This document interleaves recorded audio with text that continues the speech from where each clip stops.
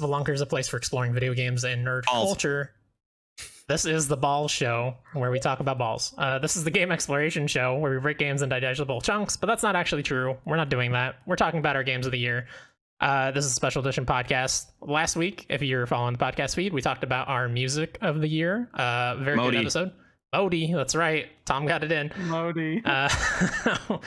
Uh, you should give that a listen. Uh, very good episode. We highlight a lot of games that we probably won't highlight here because they were kind of mediocre, but with great music. Uh, that's a great place to highlight those. But this week we're here to highlight the best of the best. Uh, I'm Chris. I'm joined by Tyler, Hi. by Ryan, Good evening, everybody. Master Roshi's here. You can't fucking escape me. I may have been missing, but I'm here now. Yeah, we're very glad you're back, Tom, uh, for this recording. Preston, Hello. what's up? He's man? got balls. Look.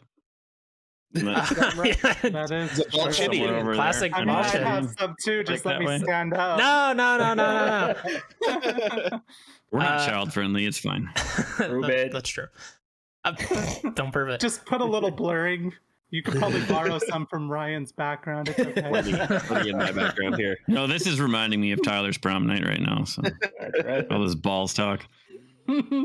And the one Give with balls here, is everybody. VictorianGenetix. We're also joined by Hello. the only one here with balls, I might add.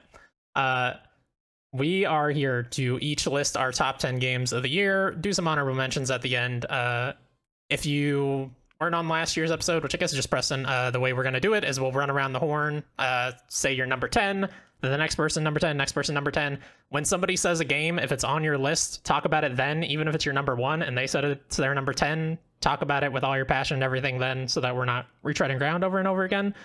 Uh, otherwise, we're just uh, we're going around the horn, and it'll go Genetix, Preston, Tom, Ryan, Tyler, myself, just because that's the order the cameras are in. Uh, on your screen? yeah, on my No, screen, on my the viewer screen. yeah, who's hosting? He'll move us along. as long as you say my name when it's my turn to talk, I'll be fine. Yeah, yeah, I will do that. exactly. All right. Uh, with that, I mean, unless anybody else has something to to intro with here, something we need to get out of the way, something we. May God Harrison- have mercy Harrison on our colored my Well, picture right where's, here. is where is Chris Among Us on everyone Christmas. else's? Um, is that where are we all starting? Number one is Cris Tales. Is that where the? I think it's we're buried under the Yes. outhouse in my backyard. Uh, Unfortunate. If if that game was on anyone's list, I would be shook. I have you know a- what? I think I need to update my list right now. yeah, I have a dishonorable mentions category that that is in. Uh, Ooh. Biomutant. Mm. I, it was okay, but it's definitely not.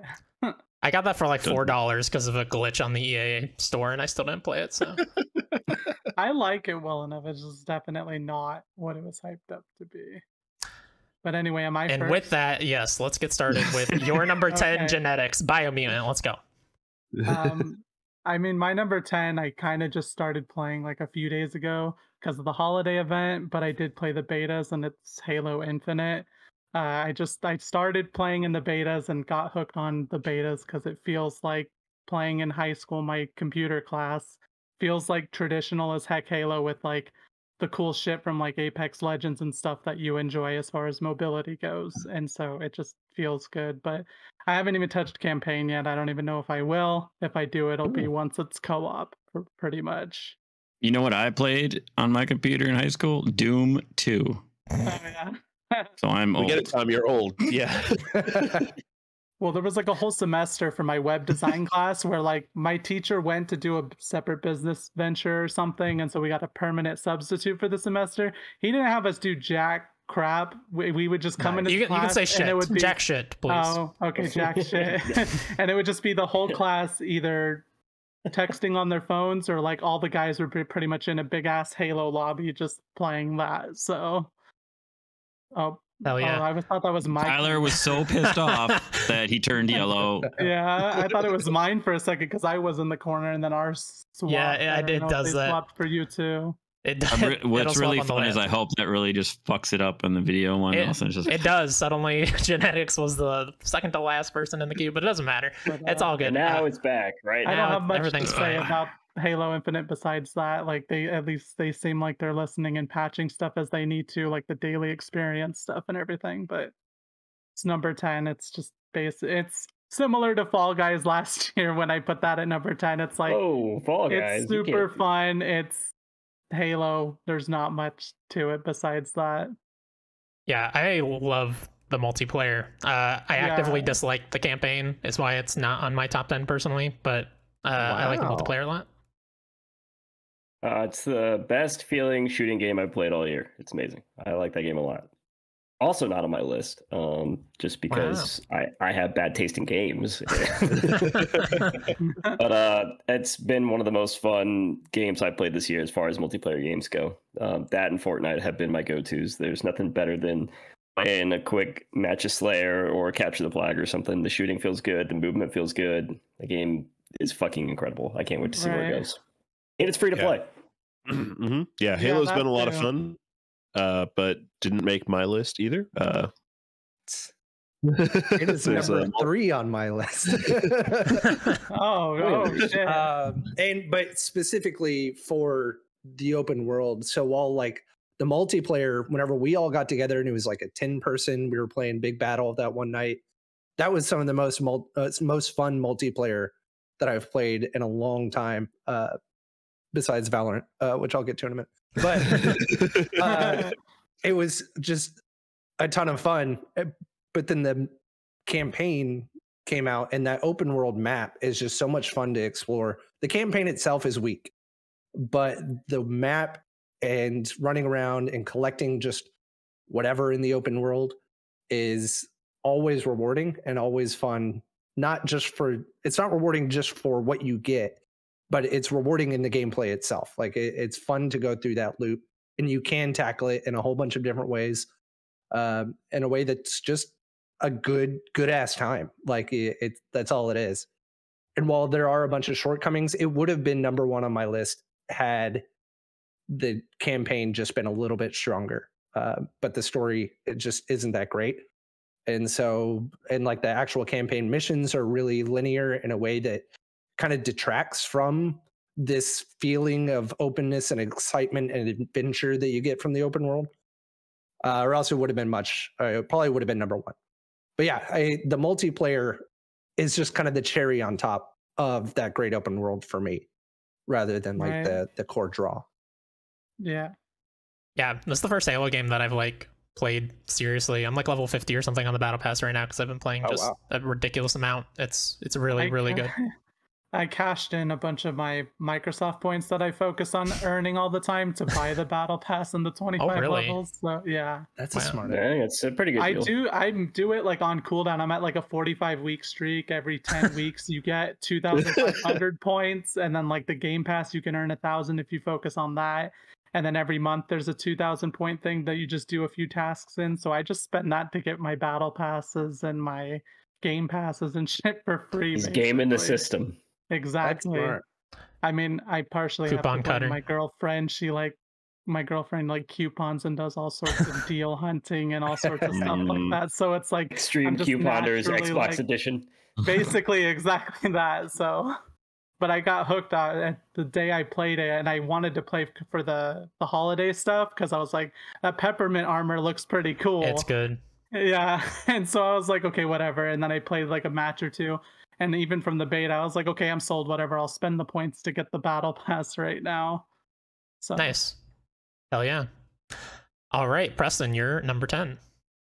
So I alluded to it earlier. It uh, was a last minute change in addition because new content came out this year. So I'm going to call it uh, Valorant for sure. Uh, I w- it would be way higher on my list if I wasn't trying to abide a little bit closer to the rules of this kind of list. yeah, There Uh, are no rules. We, we don't have rules here.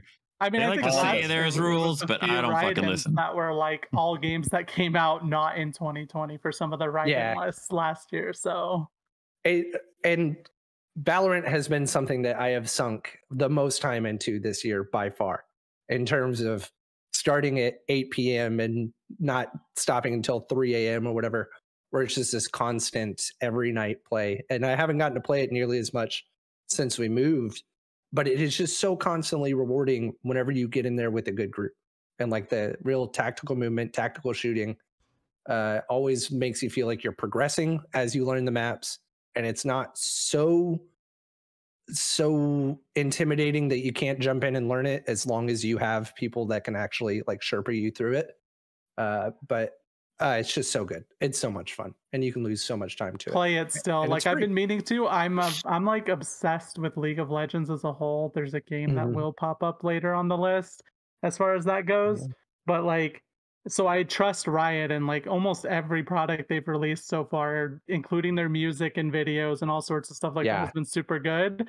So like I want to get into it, but it's been like it's on the back burner. I haven't yet. I want to though. Everybody seems obsessed with it. It's so good. And whenever they just did like their championship for the year, and I don't really watch esports or participate in esports in any way, but for this one, I just sunk the entire weekend of watching, Yeah. you know, eight hours at a time. Of I uh, mean, it was yeah. actually two weeks long, and so I would just be sitting there at work, like staring at my TV screen because I, uh, Right. and watching nothing but the the championship for hours. I mean. That, yeah, that's part of why it's probably so good. Is Riot knows how to do stuff in general. Their esports scene for League keeps improving, Yeah, and that's why so many people in the fighting game community are looking forward to the fighting game that they're gonna Yes. have coming out because it looks super cool. It's just tag team fighting stuff, but it's gonna probably have an actual, really legit esport behind it, which is Right. nice. So, but Yeah, I wish they'd bring Valorant to consoles. I'm a little console Mhm. pleb, and I want to play with a controller. yeah, I would probably like it better with controller for sure. But I think th- it would work really well. I mean, as long as they didn't do crossplay, like that could be a very, very solid. I'm surprised it hadn't happened yet. yeah. I think like they've talked about crossplay, it. but it's like the hackers always eventually ruin Yeah. it and stuff. Like they need to just give the console people the option to do it, Yeah, which is right. what Halo Yeah, is not doing right now, point. which is a whole other thing. But Halo does technically have that option if you play ranked, solo, or duo. That's the only queue that has. oh, the option. Okay, gotcha. Yeah, Valorant number ten. Um, if only for some sort of sanctity here, but uh, fantastic. Definitely go and play it. Awesome. Uh, Tom, you're number 10. Uh, my number 10 is uh, Destiny 2. Uh, last December, you had Beyond Light. Right? That's what, yeah, that's what it is.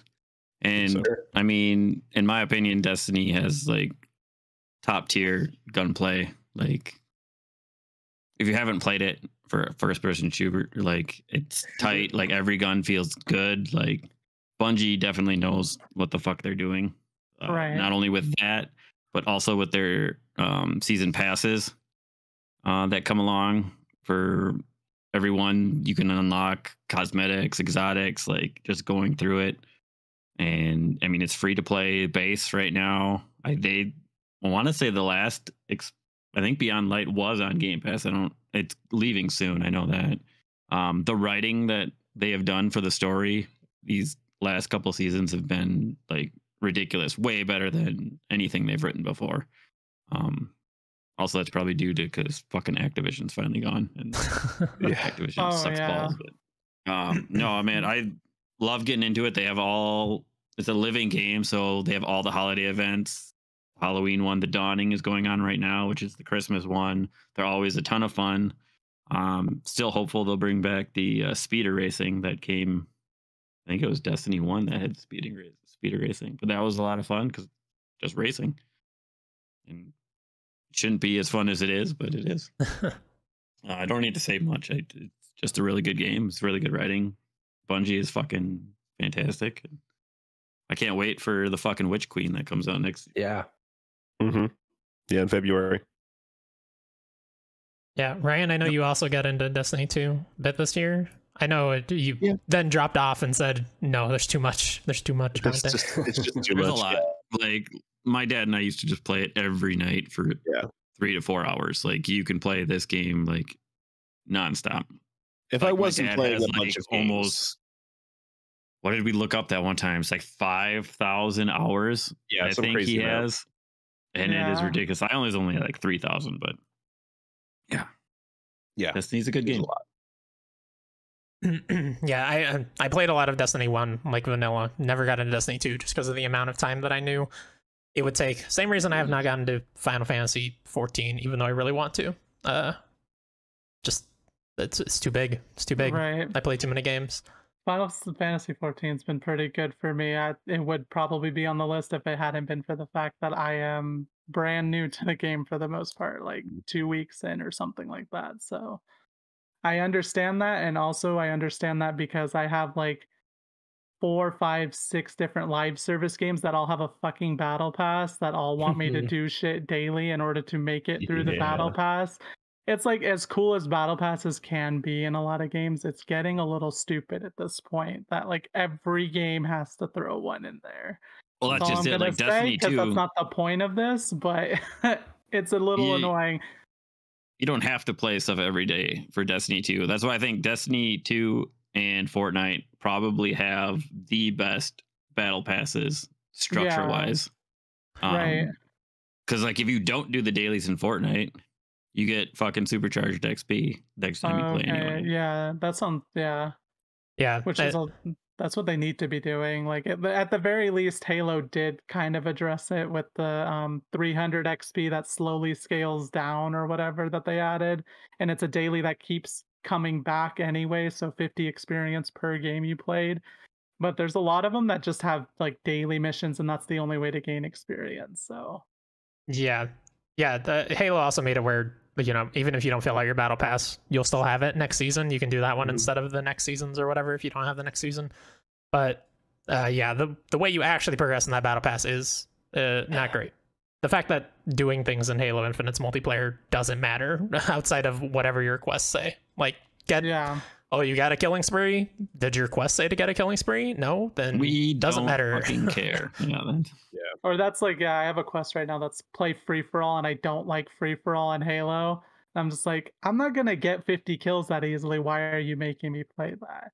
But anyway, go to the next one. number 10. Whole Uh, separate rant video. Ryan, you're number ten. Uh, my number 10 absorbed the first month or so of my gaming this year was uh, Valheim, the survival game that uh, dropped the indie studio game. Preston, I forgot it was this year. Been a having long meltdown. year, man. Uh, like, this oh game, shit, can I edit my list? I put like 80 hours in this game over two weeks. It really hit me hard at the Yeah. beginning of the year. I uh, I really love how they minimalized or just you know made more quality of life to the survival by not forcing the eating mechanic on you. You know, if you're just going to be spending the next two or three in-game days building your town, you don't have to eat it all. It just buffs you when you go into battle. Um, and I really, really love the building system. That scratches Mhm. an itch so fucking hard in the back of my head. It's not even funny.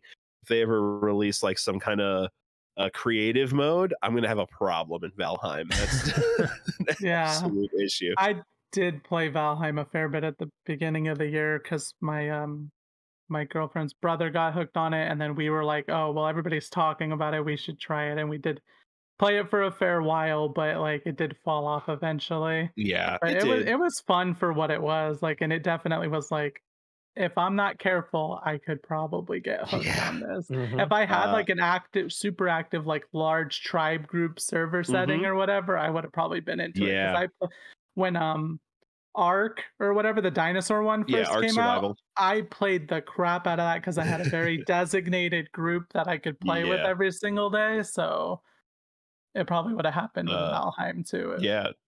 Shout out to Rob for renting a server for us to play on Yeah. for a while, so we could just log on and do whatever we wanted with our house in the same world. So other people hopping in and out. Uh, that That's was a, cool. so much fun. Uh, yeah, very good game, Valheim. I recommend it. I've gone back to it since since January to see out some of the other updates they've done, but I didn't get very far, so And I don't think I really interacted with it. for us, that was the first game that I really played with like draft punks or with you, Ryan, uh, just getting into on that Rob server. Uh, and yeah, they the way that the resources dwindle in the world over time for everybody that really kind of forces you out to go and spread out and do different exploration. And like you just kind of like end up pairing off and doing your own group and building what is essentially settlements. And then everyone kind of comes together for these big raids where you have to meet up and you have to progress the story together really uh Yep. works just so well like there's such a good loop there in terms of Yeah. the crafting and the resource gathering that Yeah. was yeah instantly hooked Oh yeah. Uh, all right, Tyler, you're number ten. My number 10 is a Give us the bitty- bad game. Give it to us. Your horrible list that you said you have. It's actually the perfect list, some would say. Um, and our number 10 is a little ditty called Knockout City. You might have heard of it. Uh, it came out this Ah. year. Little, little free to play gem from EA that came out of nowhere. It was Not like, free yeah. to play, but Unfamiliar. It's got, like, my list. up it's to like almost basically levels. free to play because there's Yeah. the trial up to level 25. It's on Game Pass, and Amazon Prime gave it away for free as well. So Wasn't it yeah. on PlayStation almost- Plus too at some point? It Not was. sure. Did it Uh, count? Okay. Was it? So it's have bought it almost free to play. It's kind of like Fall Guys, where it's almost free to play. Like, well, Yeah. it's free to doesn't have- try. Right, And, uh, exactly. A great game. It was super fun. Came out of nowhere. I think they first showcased it on like a Nintendo Switch, um, yeah, Nintendo Direct or whatever. And which uh, uh, don't recommend was- playing it on the Switch. It was not a good no, I time played it on the PS5, Switch. and it I'm playing played on the incredible. Series X, so Um, it was a really good game when it came out. I mean, we were super hooked on it. We were playing matches every night. We It seemed so like. hard. We I mean, so we were we were like getting com- super competitive with it and like really rallying around this fucking random uh, game. And it's a dodgeball game, if I didn't say that yet. Uh, and for that to just come out of nowhere and be so like fun and unique, and the actual way that you played the game uh, felt robust in a way, even though it was super simple, like being able to uh, basically parry attacks, uh, catch attacks, and then uh, choose how you're going to charge your throw and what direction you wanted to hit them with, and uh, all the different balls and stuff that you could use to. We're talking about balls again. Uh, all the different balls that you could use to uh, you know like attack. your It prom was so cool. Yeah, and Yeah. Uh, it's great. Super fun time. yeah. This uh this also made it onto my list. Uh this was like it's When I thought too, about- yeah. What multiplayer games gave me the most fun this year. This was the first one to pop into my head. Uh there's a reason it landed number one on my Modi list, uh, and that's because Knockout City really just owned my summer of multiplayer gaming in such a fantastic way.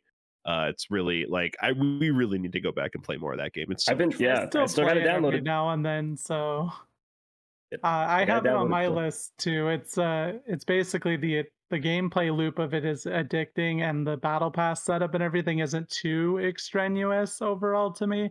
Um, they've recently made it where you have to pay for some aspects of battle pass and stuff, but it's not too bad off. But also, like the cosmetics and everything actually feel drastic compared to some games, like. Mhm. Mm. Final Fantasy VII, the first soldier, it doesn't feel drastic enough. The cosmetics you get, Halo doesn't even feel too drastic with the cosmetics you're getting. But that game, the the vibe and the world and the aesthetic it has overall, they just can go crazy with the cosmetics. So you actually see stuff and you're like, oh shit, I want that like right now. Like it actually feels more worth grinding out for cosmetics than a lot of other games. So but yeah, also just the mechanics are like everyone I know that's into fighting games was getting into Knockout City because it's neutral feels very much like the neutral of a fighting game more or less if that makes any sense like Yeah, I mean it's a it's essentially a third person shooter, but it removes any aiming. And, Like it's all about spacing, timing, and parrying. right is great. it's more of like a mind game sort of thing which is where Mhm. what fighting games tend to be you condition your opponent and then capitalize on you conditioning them a certain way for them to screw up so And the soundtrack is fucking incredible on top of it. yeah So. the soundtrack is super good Yeah, absolutely. All right. Uh, speaking of great soundtracks, my number 10 is Everhood, uh, a game that came out earlier this year that most people probably have not heard of. It's an indie RPG, very Undertale inspired in terms of like a really subversive narrative and the art style. And combat in this RPG is like a music rhythm game. It's like basically if you took the gameplay of Guitar Hero, but instead like the notes when they come at the end of the track, instead of you hitting a specific button on a controller, you're like a little guy at the end of the track, dodging the notes and jumping over them and stuff. uh, which is super fun, uh, especially because the music is so great. And then, like, uh, it, I won't get into it, but there's there are things that happen like about midway through the game that really subvert what the game is doing and make it completely different and very cool, uh, weird, hard to hard to talk about, but it's it's super cool. I think everybody should check it out. I think it's only PC right now, unfortunately, but it's very very good. I think I watched Moist Critical play that a fair bit, so it's it has like it looks kind of like Undertale, right? Yeah. And it's yeah, okay. I've definitely seen it. I saw him playing like a weird ass rhythm game of some sort where he was like jumping and dodging stuff or something like that. So it looks cool. I definitely want to play it. Like it's on my list somewhere, one of my lists Yeah. of games to play eventually. I had never heard of it at all. Um, so that'll that's going to go straight onto my check it out and play it during this the two week drought that we get before January or whatever. Yeah, I- know. it's like a, a month draft, at least for me now, because uh, Weird West got delayed, and that was the only thing I was kind of looking forward Oh, to. yeah. Really. Isn't Legends in the end of January? Yeah, very end of January. Yeah. How And then Elden? Ring is in February. King of Fighters is in February. Everything's in February. Yeah. Yeah. Like, there's a lot of February's random crap. How long would you say Everwood is? Um, probably like eight to ten hours. Oh, Uh, I thought okay. you were gonna say eight to ten inches. Oh yeah, Uh, you did say Everwood. Everwood. It's Oh, Ever- Everwood. Everwood is the name of the game. Everhood. Yes. Oh, I. Whatever. It's just a dick and balls podcast. yeah. Yes. Everwood. Just like Tyler's prom night. Yep. Uh, but yeah, that's my number ten. All right, uh, on to number nine, VictorianGenetix. Uh, my number nine is Bravely Default 2. It was uh, kind of arguing with Scarlet Nexus, though, because they both had some of the same negatives and positives for me, but Scarlet Nexus doesn't have the soundtrack of Bravely Default 2, and it also doesn't have like the cute aesthetics and stuff. And also, Scarlet Nexus to me does not compare to Tales of Arise, which is on my list. So, Bravely Default's there. Um, I just really liked the job system in the game, and the story is pretty fun overall. And then, like, the job system lends itself so much to experimenting to find ways to break the fucking game Yes. that you're like, you. I found one pretty quickly. It was like Leaf or the thief with like a God cut ability or something, and then you get like a Hellblader to like make it where they're not capped to 999 damage or whatever and then you just have the rest of your party as like buffers and healers and stuff and like your thief will just like three and two shot even like the biggest bosses and crap but then like i've seen people experimenting and finding other ways to break the game through other classes which is pretty fun to do Yeah, there are so many broken combinations in the game. It's also on my list. Uh, like the I played 90 hours of that game, 89 hours uh, according to the Switch clock, and a lot of that was like I probably finished the game at around 50 hours. A lot of it was doing the post game content and then just playing with the jobs, combining different jobs, different passives, and seeing different ways that I could beat like the ultimate boss. Which, if you are abusing broken combos, the ultimate boss it's like the easiest ultimate boss ever. Even though it is very challenging if you're playing like if you're not if you're thinking unilaterally and doing things the way the game seems to intend it's a very hard boss but there are ways to like bust it open and make it it's super like easy. there's so many like different combinations and stuff that you can get a hold of to break the game basically that it kind of feels like their intention is for you to Oh, break yeah. the game. Because it's like some of the bosses unless you're breaking the game you're like not gonna beat them it feels like. Yeah it's the best job system like in a game and i love job systems in rpgs uh also like you said the music's really good. The story's surprisingly good. Uh yeah. Like it's i don't think it's as good as bravely default or Bravely Second's stories. It, it doesn't have those have weird like subversion elements that i don't think this really has but uh it's still really good. And like uh the brave default system is old at this point. It's been like it's been in two other games but like just being able to save up your turns basically by guarding uh or you can go in debt on turns like take four turns at the beginning of the battle with all your people and have them all be four turns in debt and just do nothing for four turns? That's like yeah. crazy the weird and intricacies fun. and everything of the combat is definitely cool so. Yeah, super good rpg it's a super good year for rpgs yeah. All right. Preston you're number nine. My number nine is Death's Door, uh, a fantastically fun little indie, sort of more of like a Zelda like than like a Souls like, but it's got the elements of a Souls like, uh, and it is a ton of fun. Uh, the combat, while it's simplistic in sort of your inputs, is still really engaging, and you can still die very easily in that game. Mhm. And the progression through uh, through both the stat progression and skill upgrades, as well as ways you can upgrade your character through fighting bosses within the world, is in a way uh, is a, a system that works really well to feel rewarding and fun. And just they there's always something like to every boss that is a little quirk that you can exploit that helps you get through the fight a little faster that sort of like dawns on you halfway through that feels very natural in a way that like a lot of games would highlight oh shoot the fireball into their mouth or whatever but it feels a little bit more uh like you figure that out on your own yeah uh in a way that works really awesomely. I enjoyed the hell out of that game. I got to the final boss and I stopped. and I need It to go back to it. It's just something that like I got my ass kicked on stream over and over and over again. I was like, ah, I'm t- I'm tired. I'll pick it up tomorrow or next week.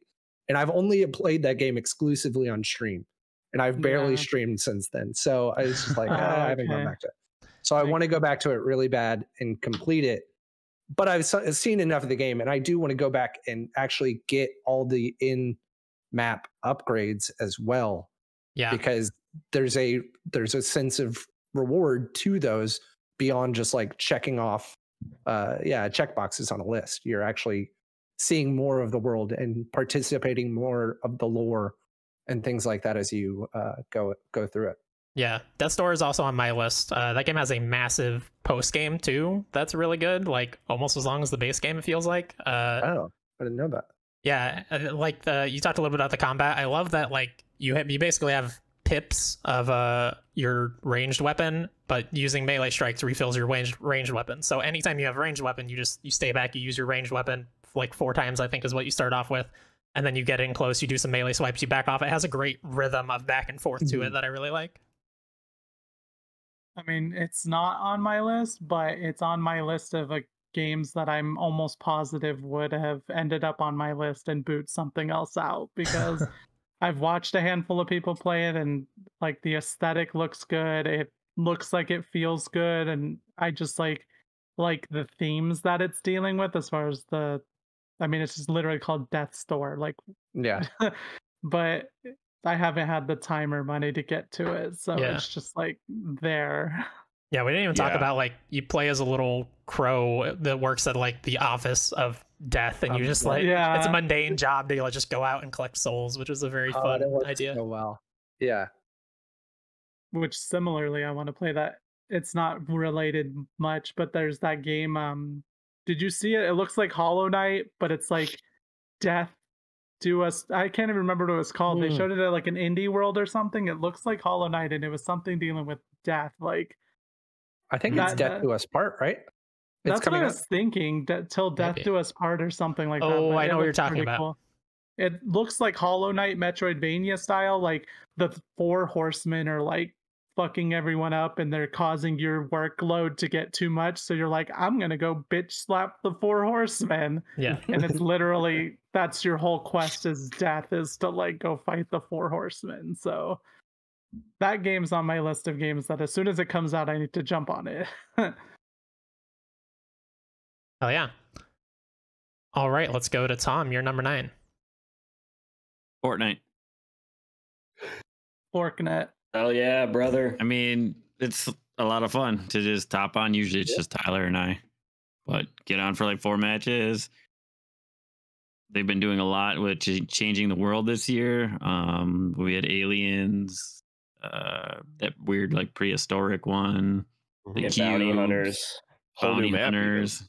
Yeah, now a whole new map. I mean, it's a lot of fun just to go in, play a couple matches, um, and be done. You know, for the night. Yeah. I don't know, just It's a lot of fun. time. I have a lot of fun playing. Shout out to the Fortnites on the Discord. The- Mhm. Yeah. That, that's It's not on my list, K N I G H T. but, Yeah. Right. Forknights. Very clever. It's it's not on my list just because I didn't want to put any you know live service games on, but you know that is one of my top two or three games of the year. It's my go-to. It's my comfort food. There's nothing better than just like playing a couple of rounds uh, and you know it, just bullshitting in that game. It's it's fun to play like to be competitive when you want to be competitive, but it's super fun to just bullshit around in that Mhm. world because it's so fucking weird and goofy. Like having Naruto and Spider Man holding like MK7s and like so just- dumb. breaking I may down be all out of chakra, but I ain't out of Yeah. options. That's right. and just like and then they added like web shooters for this season and being able to like swing around like Spider-Man all over the map and like it it fucking feels good to play. Yeah. It's I mean, I even mean, without the we've talked about it so much, but it's such a fucking good game. It's such a fun experience Mhm. every time.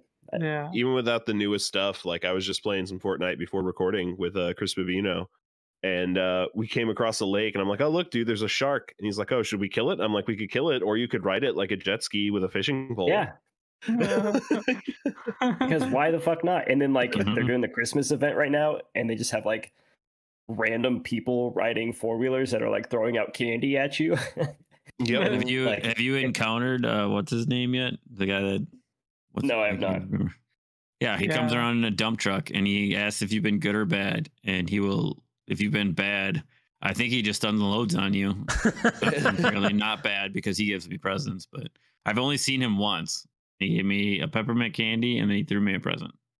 And it Yeah, was just the fucking cool weirdest like thing. that, Cause I was know? just running next to a road and all of a sudden I hear this. And I'm like, what the fuck is that?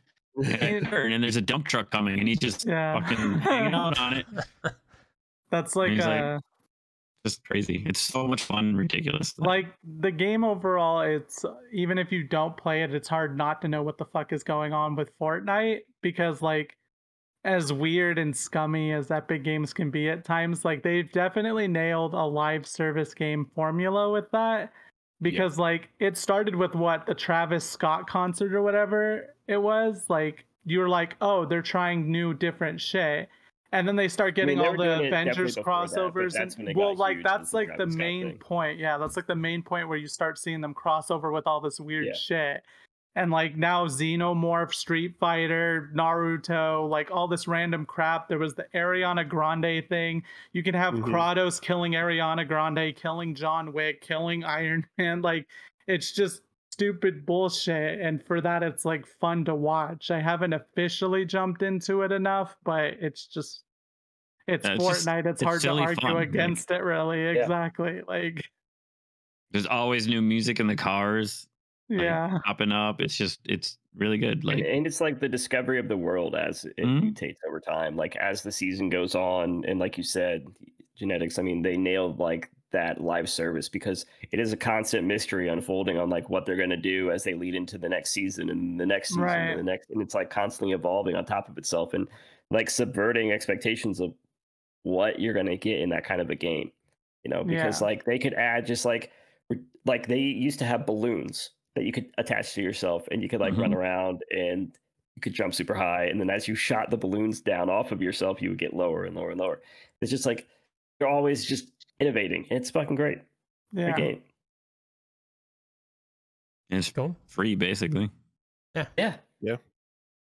very true Until they hook you in with the skins and you buy pajama skins for no reason. like i haven't even fully played it yet i had some free credits since they um they dropped uh they stopped doing save the world and we we bought that like way back when or whatever they basically don't touch it so they gave free credits so i used that towards like the jinx skin and like one or two of the naruto skins or something like that i was Boba like Fett is coming out literally in days. And I- yeah. Like I am, I guarantee you this thing's gonna come out. It's gonna be twenty bucks, and I do not give a shit. I am buying. yeah Like I know. yeah the well like of, i play so much the amount of League money of i Legends. spent on that game is stupid I mean, yeah, I'm like that with League of Legends personally. It's like at $2,000. There's some stupid shit right now, which is like 10, 11, 12 years of gameplay, which is, it's just fun to play. So, but yes, Yeah. Fortnite looks fun. I bought skins because I'm expecting to actually play it at some point. And I have four kids, and I play with almost all of them on it too. Like, I, and then Tyler, you play with Liam and Ollie. Like, even if you're just playing with kids, they- you know, it's still fun to like run around like, oh, hey, there's this, and like, just you don't have to really do anything. Like, you get more XP not killing people and trying to be the winner. That's like my favorite thing to do with battle royales, like PUBG. I would just like run into a bush and then And then hide hide. Mm. and then do nothing like the whole freaking game. And then like as soon as someone Classic. sees me, I'll just start running and zigzagging and then hide. And then like I'll get like top two doing that. I have no items, so obviously I'm gonna lose, but that's like part of the fun of like even with Fortnite and stuff like that. It's like there's so many random bullshit things you can do. Like Fortnite exemplifies the fun of battle royales because there's just so much random crap you could be doing. All right. Uh, let's move on to Ryan. You're number nine. My number nine uh, is a game that is criminally under talked about in 2021 video games. I adore this game. I still need to go back and finish the last handful of levels. I've played this co op with several people on this podcast call. It is something that does not happen often enough as a co op stealth game. It's on Game Pass with Oh, I know what you're talking about. play, and it's called Aragami 2. This And game you played this game on a whim one day. rocked my world. I, I I remember hearing about Aragami One years ago. I'm like, oh, that sounds fun, but I never got around to it. So when I saw Aragami Two pop up on Game Pass, I was like, oh, I have to download this. Especially seeing co-op and crossplay, like this is right up my alley. Yeah, I think I have And- it downloaded right now, but I haven't touched it yet. I have done 40 of the 51 levels. It is an absolute joy. I still want to go back and finish it off. Uh, it feels really good. The powers you get feel really meaningful. The variety to the powers is very good. People can really build into different directions. The runes for armor, it, just feels really good. The story, whatever. I don't care. It doesn't really matter in this game. The story is very bare bones and background. But the the moment to moment gameplay, once you're in a mission with your friends, up to three friends, uh well you and two friends so up to three people uh like forming stealth plans the whole way around like it just feels really good there's a little bit of jank i'm not gonna lie there's a little bit of jank There's a lot but of it jank. feels it feels good even with the jank i mean i think the biggest jank is when you get into open combat which the Yeah, game don't yeah. do that. heavily, heavily discourages, but gives you a lot of tools at your disposal to negate open combat once it starts. It, it like once open combat starts, it's not game over. It's just oh, what tool do I have at my disposal to break open combat and re-stealth myself and and come out this again. Um, yeah, I really dig it. So much fun. Really good music. Uh, really fun art style.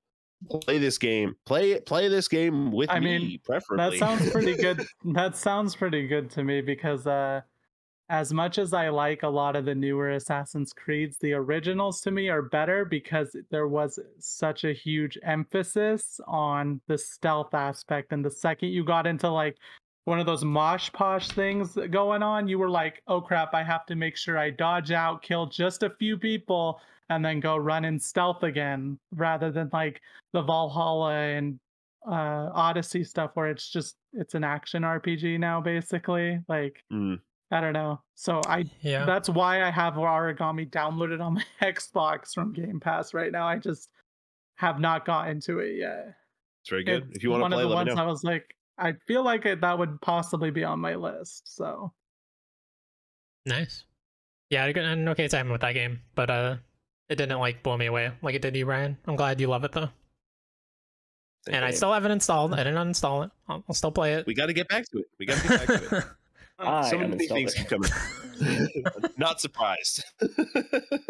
Hater. Preston, you looked interested. Well, as you, I was thinking you were going to be talking about another game that is definitely on my list. Um, But the fun that I had with the Ghost of Tsushima uh, co-op that we did Mhm. makes me think that I would have fun with Aragami uh, co-op. co-op as well. Yeah, and I know it is still different, but it still like there are similarities through because I mean, obviously in Ghost of Tsushima you can fight uh, whenever you actually get into open combat. You have options a lot more uh, probably, but definitely going to be Yeah. something. And if it's on Game Pass, there's no reason not to. Right. For sure. All right. Tyler, you're number nine. Uh, my number nine is also on Chris's list. Um, it is Neo: The World Ends with You. Um, Chris said earlier that there are a lot of good JRPGs that came out this year, and that is true. That is why this is at the upper portion of top. I can't talk. Top portion of the Bottom. bottom, top, top of the bottom. the, the bottom, of the bottom? bottom of the, your The top bottom 10. of the top. yeah, bottom of the top. Sure, great. It's the Uh, power bottom. You get it. It's it's somewhere, and uh, you know this game is super fun. I played it because of Chris's recommendation. He wouldn't shut the fuck up about it actually, and was like, Uh, "People need to play this won't shut the game." And I was about it like, 'cause I won't shut the fuck up about it. Yeah, I have not stopped talking about it.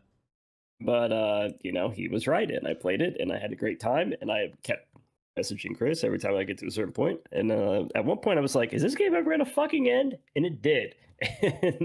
And uh, I enjoyed most of it. Uh, not not enough to like put it up to my number one, number two, but um, I had a really good time. It has incredible style. I said that on the music podcast. Um, the soundtrack is fucking incredible.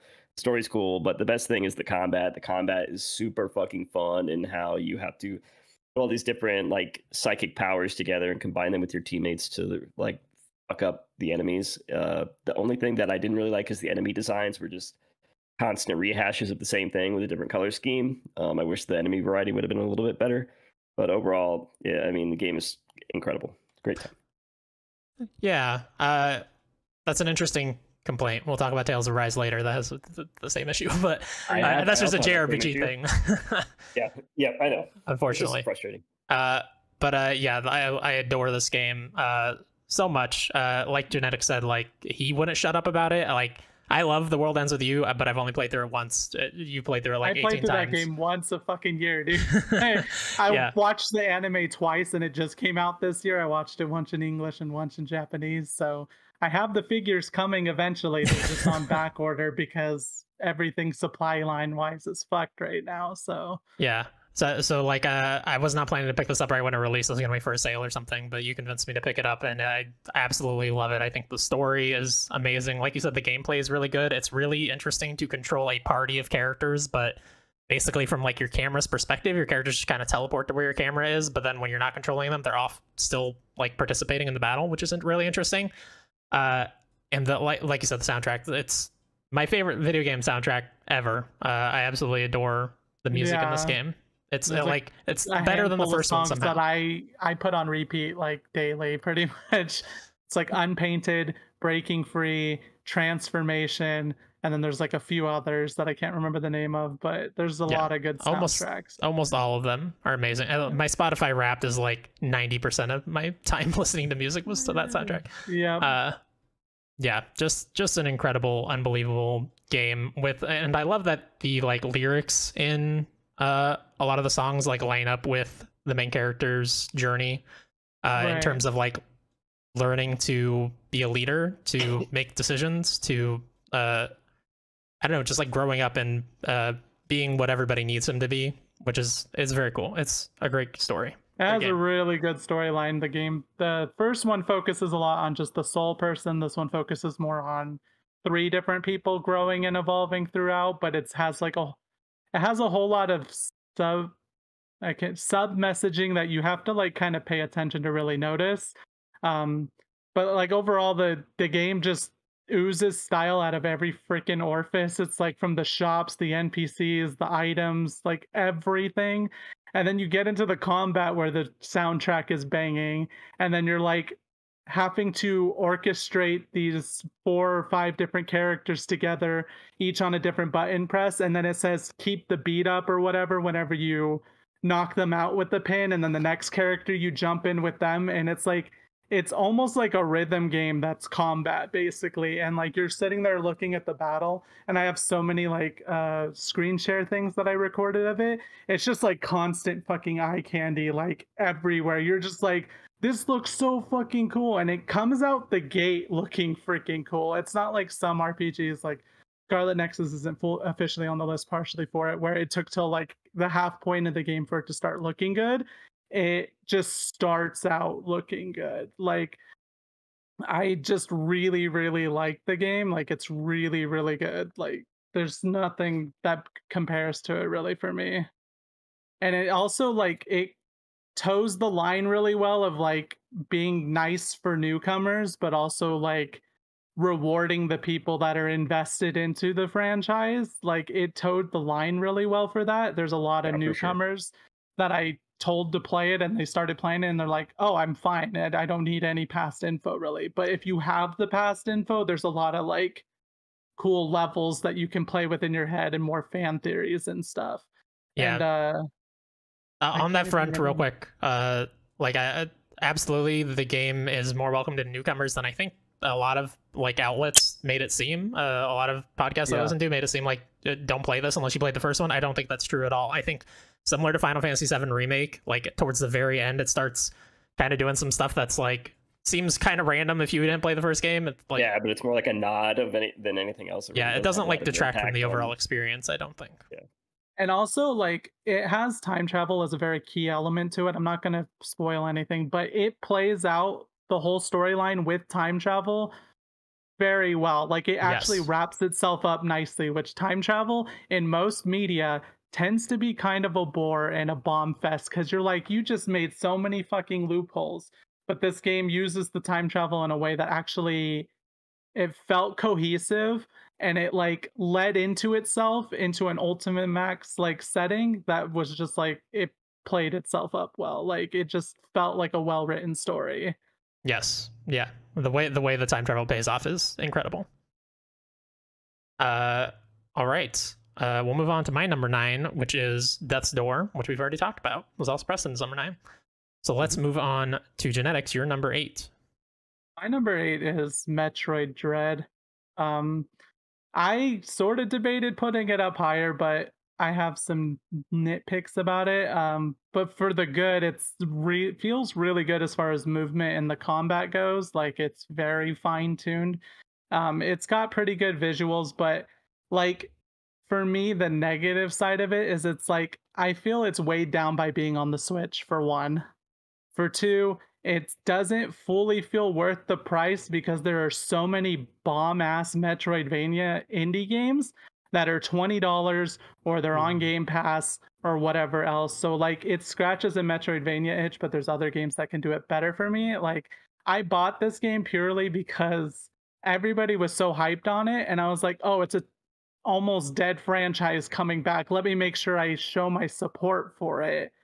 Just as like doing it. And I've played through it one time and I'm going through another playthrough right now, but it just like it doesn't fully click for me and also Nintendo prices play into a factor for me cuz like I think It'll about never go down. recommending it it'll never go below like $40 and it's also on like the Switch they do a lot with it on the Switch but like if you saw this if this com- company was able to do this on like an Xbox Series X or some shit like no shot the game would be so freaking good you want and also you want to have like 30 second to 1 minute load times going between places and shit but like i liked the game overall it's just like there's a slight few things that make other games better for me and it usually comes down to nintendo's at the bottom of the three for me at this point Yeah. Uh Metroid Dread is also on my list. It's my favorite Metroid style game uh of the year.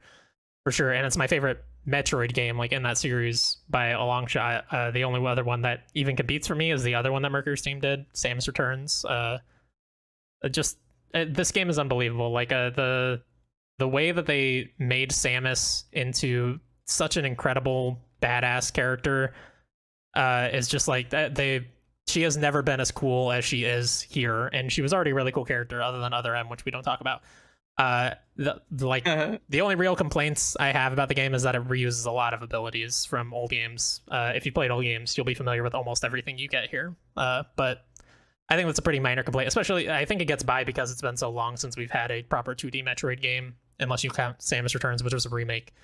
Uh, that like these things don't feel super old just because of Right. how long uh, the space. But uh, yeah, incredible game, great level design. It's amazing the way they pulled yeah, off the level design's really good too yeah the way they pulled off uh Emmys, like uh those could have been oh, incredibly dude, that frustrating. Was so freaking cool. The Yeah. Emmy stuff was cool. Like the game as a whole, I really, really, really like, but I just get that feeling like it could have been a cheaper indie development game. Like it's Metroid, obviously, so it needs to be up there, and it does have so much quality and polish. It's just like I go and I play Ori, Hollow Knight, uh, Bloodstained, so many other Metroidvanias that scratch the itch the same for me that it was like the main thing Metroid Dread has is mobility and everything, and the combat feels more fluid than like a Castlevania or Bloodstained. But then there's Hollow Knight, which is super fucking fluid for me. Like, so that's why it sits at number eight rather than like way higher for me. Yeah, but uh, like uh, I always say, if you're not a stealth game, don't put stealth in your game. But I think they did it really well with Emmys. Uh, Dude, the Emmys are fucking crazy. like Yeah. they were cool. uh, especially like when you get the ability to take them down in each area. Like those fights are also really cool and very cinematic. The way they turn your camera, It's like and a stuff is puzzle game at that Mhm. point and stuff where you have to find exactly the right area to get enough distance and charge and all this other stuff which isn't really a spoiler to talk about that stuff because you do it You do within, it in the first, like, 10 minutes, yeah. or something yeah Uh, anybody else have Metroid Dread on their list? Want to talk about it? Did not make it. I, I'm about to beat it, and I'm gonna beat it, but I will never play another Metroid game. Um, wow. I I don't know. It just didn't. I. It's weird that it's going to be one of the only games that I make sure that I see through all the way to the conclusion. Um, but it's just not clicking for me at the same time. Like once it does, th- there will be moments of flow where you'll get from you know whatever your des- or whatever your starting point is to the next ability, and you'll do it very naturally and then you'll suddenly just hit this grinding halt of I'm lost in this map or I'm just stuck on this boss in a way that drives me insane. Yeah. Um, more so than other Metroidvanias have in the past. Like again, Ori, Hollow Knight, you will grind to a halt in those games. Um, and you'll be confused and you'll be lost or you'll be stuck on a boss. But Metroid Dread, for some reason, the moments in between aren't as rewarding or aren't as like exciting enough to make me want to see them through. I've been using a wiki like the entire second half of the game. Uh, there was one part like everybody talks shit about dave jaffe or whatever how he's like this is fucking bad game design because there's like the one brick up above i legitimately did get stuck at that part i was like what the fuck is going on? Like, I did not remember about the breaking thing, breaking bricks, because they tell you about it very vaguely at the beginning of the game, and then like you go through a bunch of the game just fine without needing it, and then suddenly you need it. Like, and so I got stuck at that part too, and I was like, that's kind of whack, but I feel like every Metroidvania has destructible stuff, so I'm not gonna really dock points for it. I just think it's funny how everybody talks shit about him getting so passionate and butthurt. He's like, "How is this a top tier game?" La la, whatever. Like, dude, it's a Metroidvania. That's what they do. But I do get something- stuck on stuff, so I do agree with you. yeah, like I, I can say that objectively it's a great game. Like I can see how it is a good ass game. And right. it's I can see why people have fun with it and why people appreciate it and why it is a return to form for the series as compared to what I know of the series before. I just it just didn't work for me. Like it didn't Yeah. I never got the full flow and click to make me appreciate it as much as it deserves to be appreciated, I think. Yeah, yeah. I think uh, Metroidvanias in general like are so subjective to like how many times did you get Mhm. lost, how stuck did you get? Because like Hollow Knight for me is I think a little overrated, but that's because I really dislike the map system and got lost in that game all the time. But Mhm. I think it's forgot just lost on that subjective. one, honestly. Like it was very rare for me to get lost in Hollow Knight, but like this Metroid Dread, I got lost a few times. I don't know what it is that's a difference. It probably just is different clicks for different people. Yeah. yeah, and Tyler hates Metroid Dread, so you don't need to talk about it. It's fine.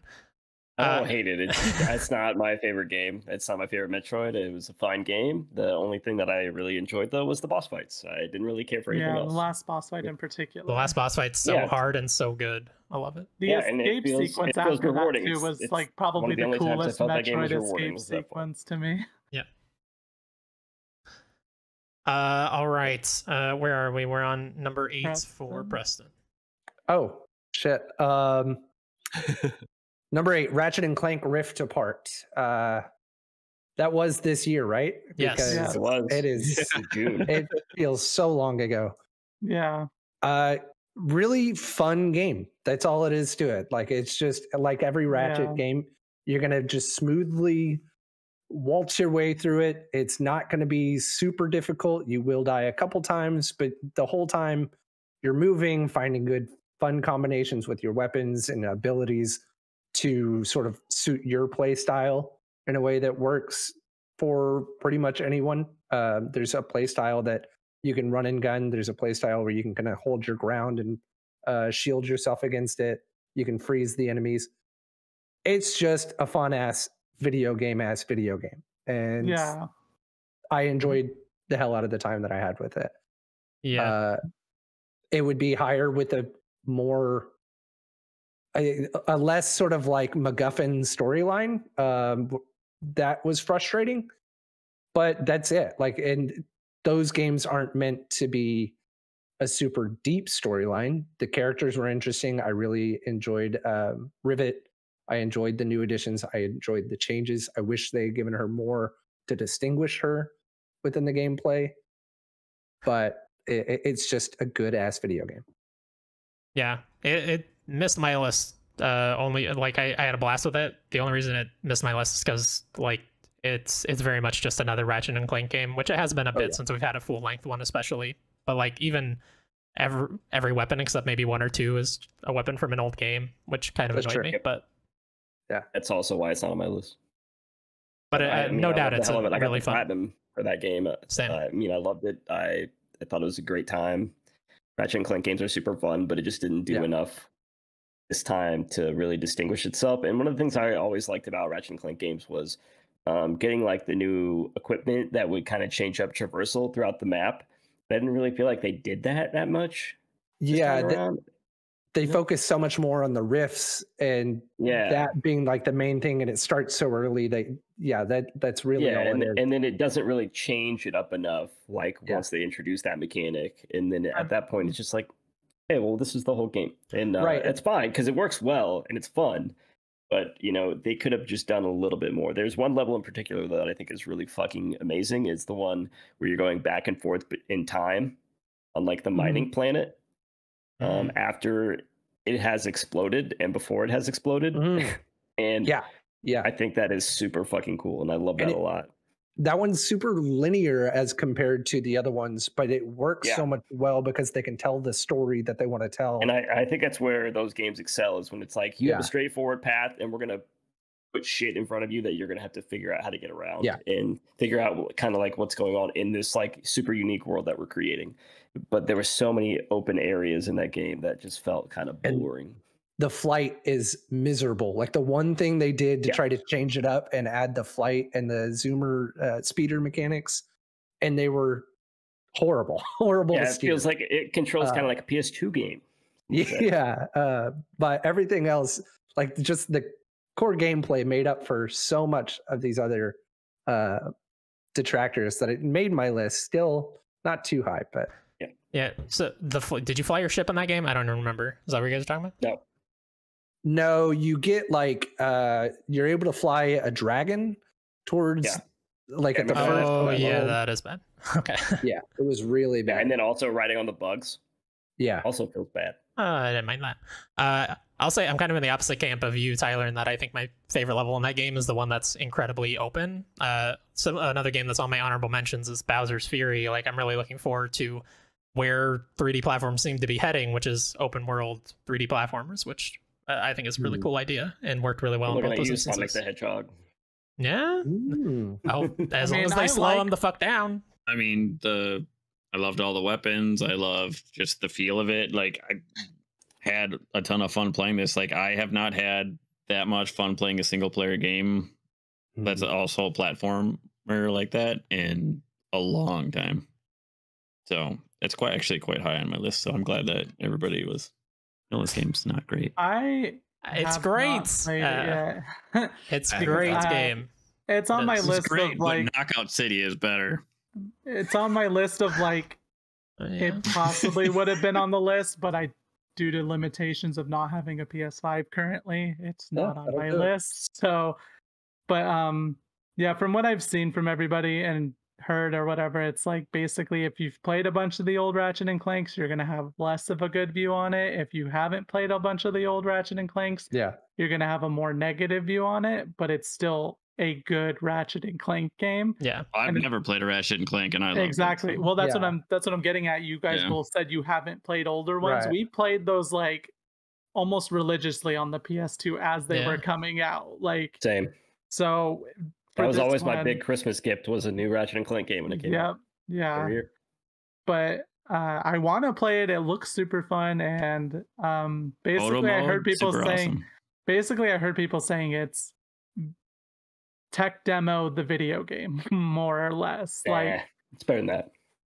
Yeah, it's higher than that for sure. well, no, Uh, like to call it a video game, like, is still saying something. Most tech demos don't aren't really a video game.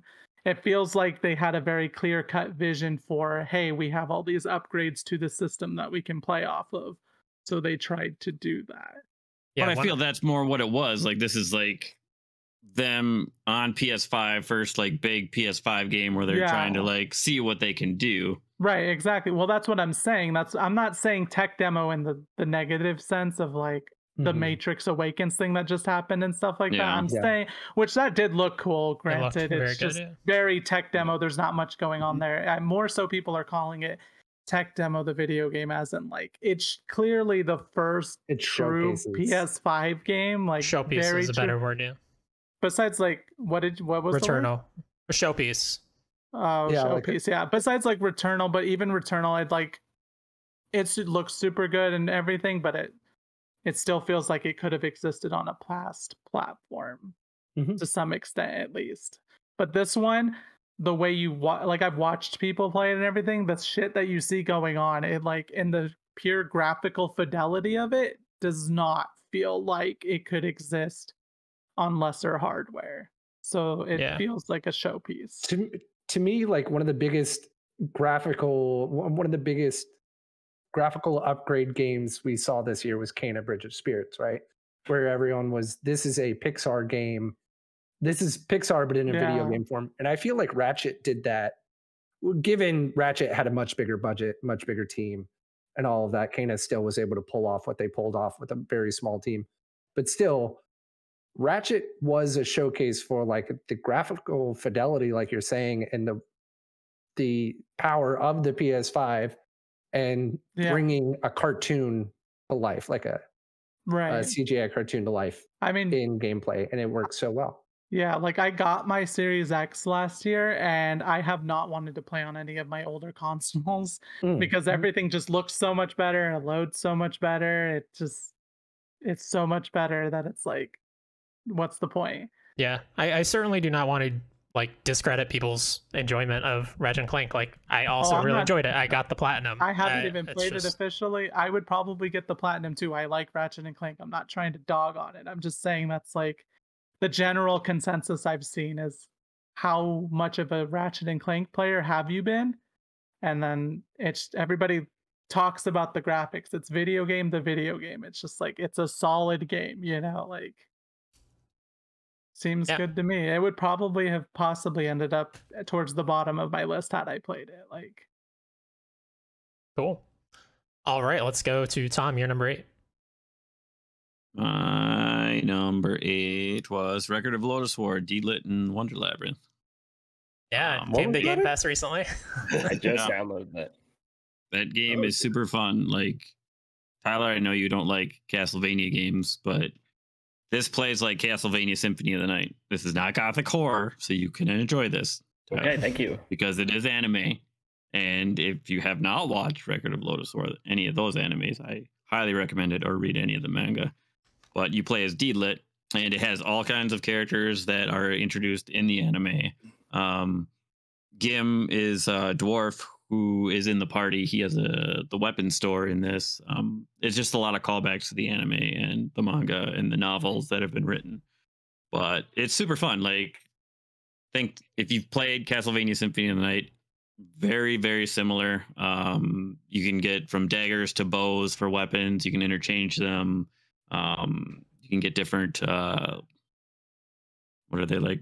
Elemental spirits that you can use. Like one can make you hover. There's another one that lets you start things on fire. Like it's just a very fun game. It's not terribly long, which I don't mind, but apparently a lot of people were pissed that it's not very long. I'm fine with it. It's got good puzzle design. It's just a really fun side scroller. Like Um, to me, it not being very long is definitely remedied by the fact that it's on Game Pass. And do you know how much it costs normally? Fifteen ninety Uh, it's, looking at it yeah, right it was like twenty bucks on Steam when it came out, which was earlier Like- this year. If it's a game that costs twenty bucks, then for me, game length complaints don't hold any merit. It's once it's like forty or sixty where to me it starts to hold some merit. I don't know. What if it's Probably 30 minutes but- long, like that Bright Memory Infinite game? Like, okay, at that point maybe Wait, you really? can, but yeah, apparently it's highly replayable, but it was like 30 minutes to an hour long. Whatever. Oh my god. Tom, did you ever play uh, Luna Nights? A chance? I don't know. It sounds familiar. Um, this game looks very similar. You're just looking like- up random games now. Hey, Uh, let's I recommend mean, games. literally, what no, Castlevania I'm- Symphony It looks of the Night exactly on, like, this game. I'm thinking he would like it. to PlayStation. be- is Okay. like that's literally what it was modeled after was Symphony of the Night. Yeah, Yeah, it looks can cool. I'm looking at the Steam page right now. I like it. Yeah, it is a very fun game. Um, I have said it before. This anime is like one of the first anime series that I had watched, and it is very awesome. Like very dark fantasy, you know, normal.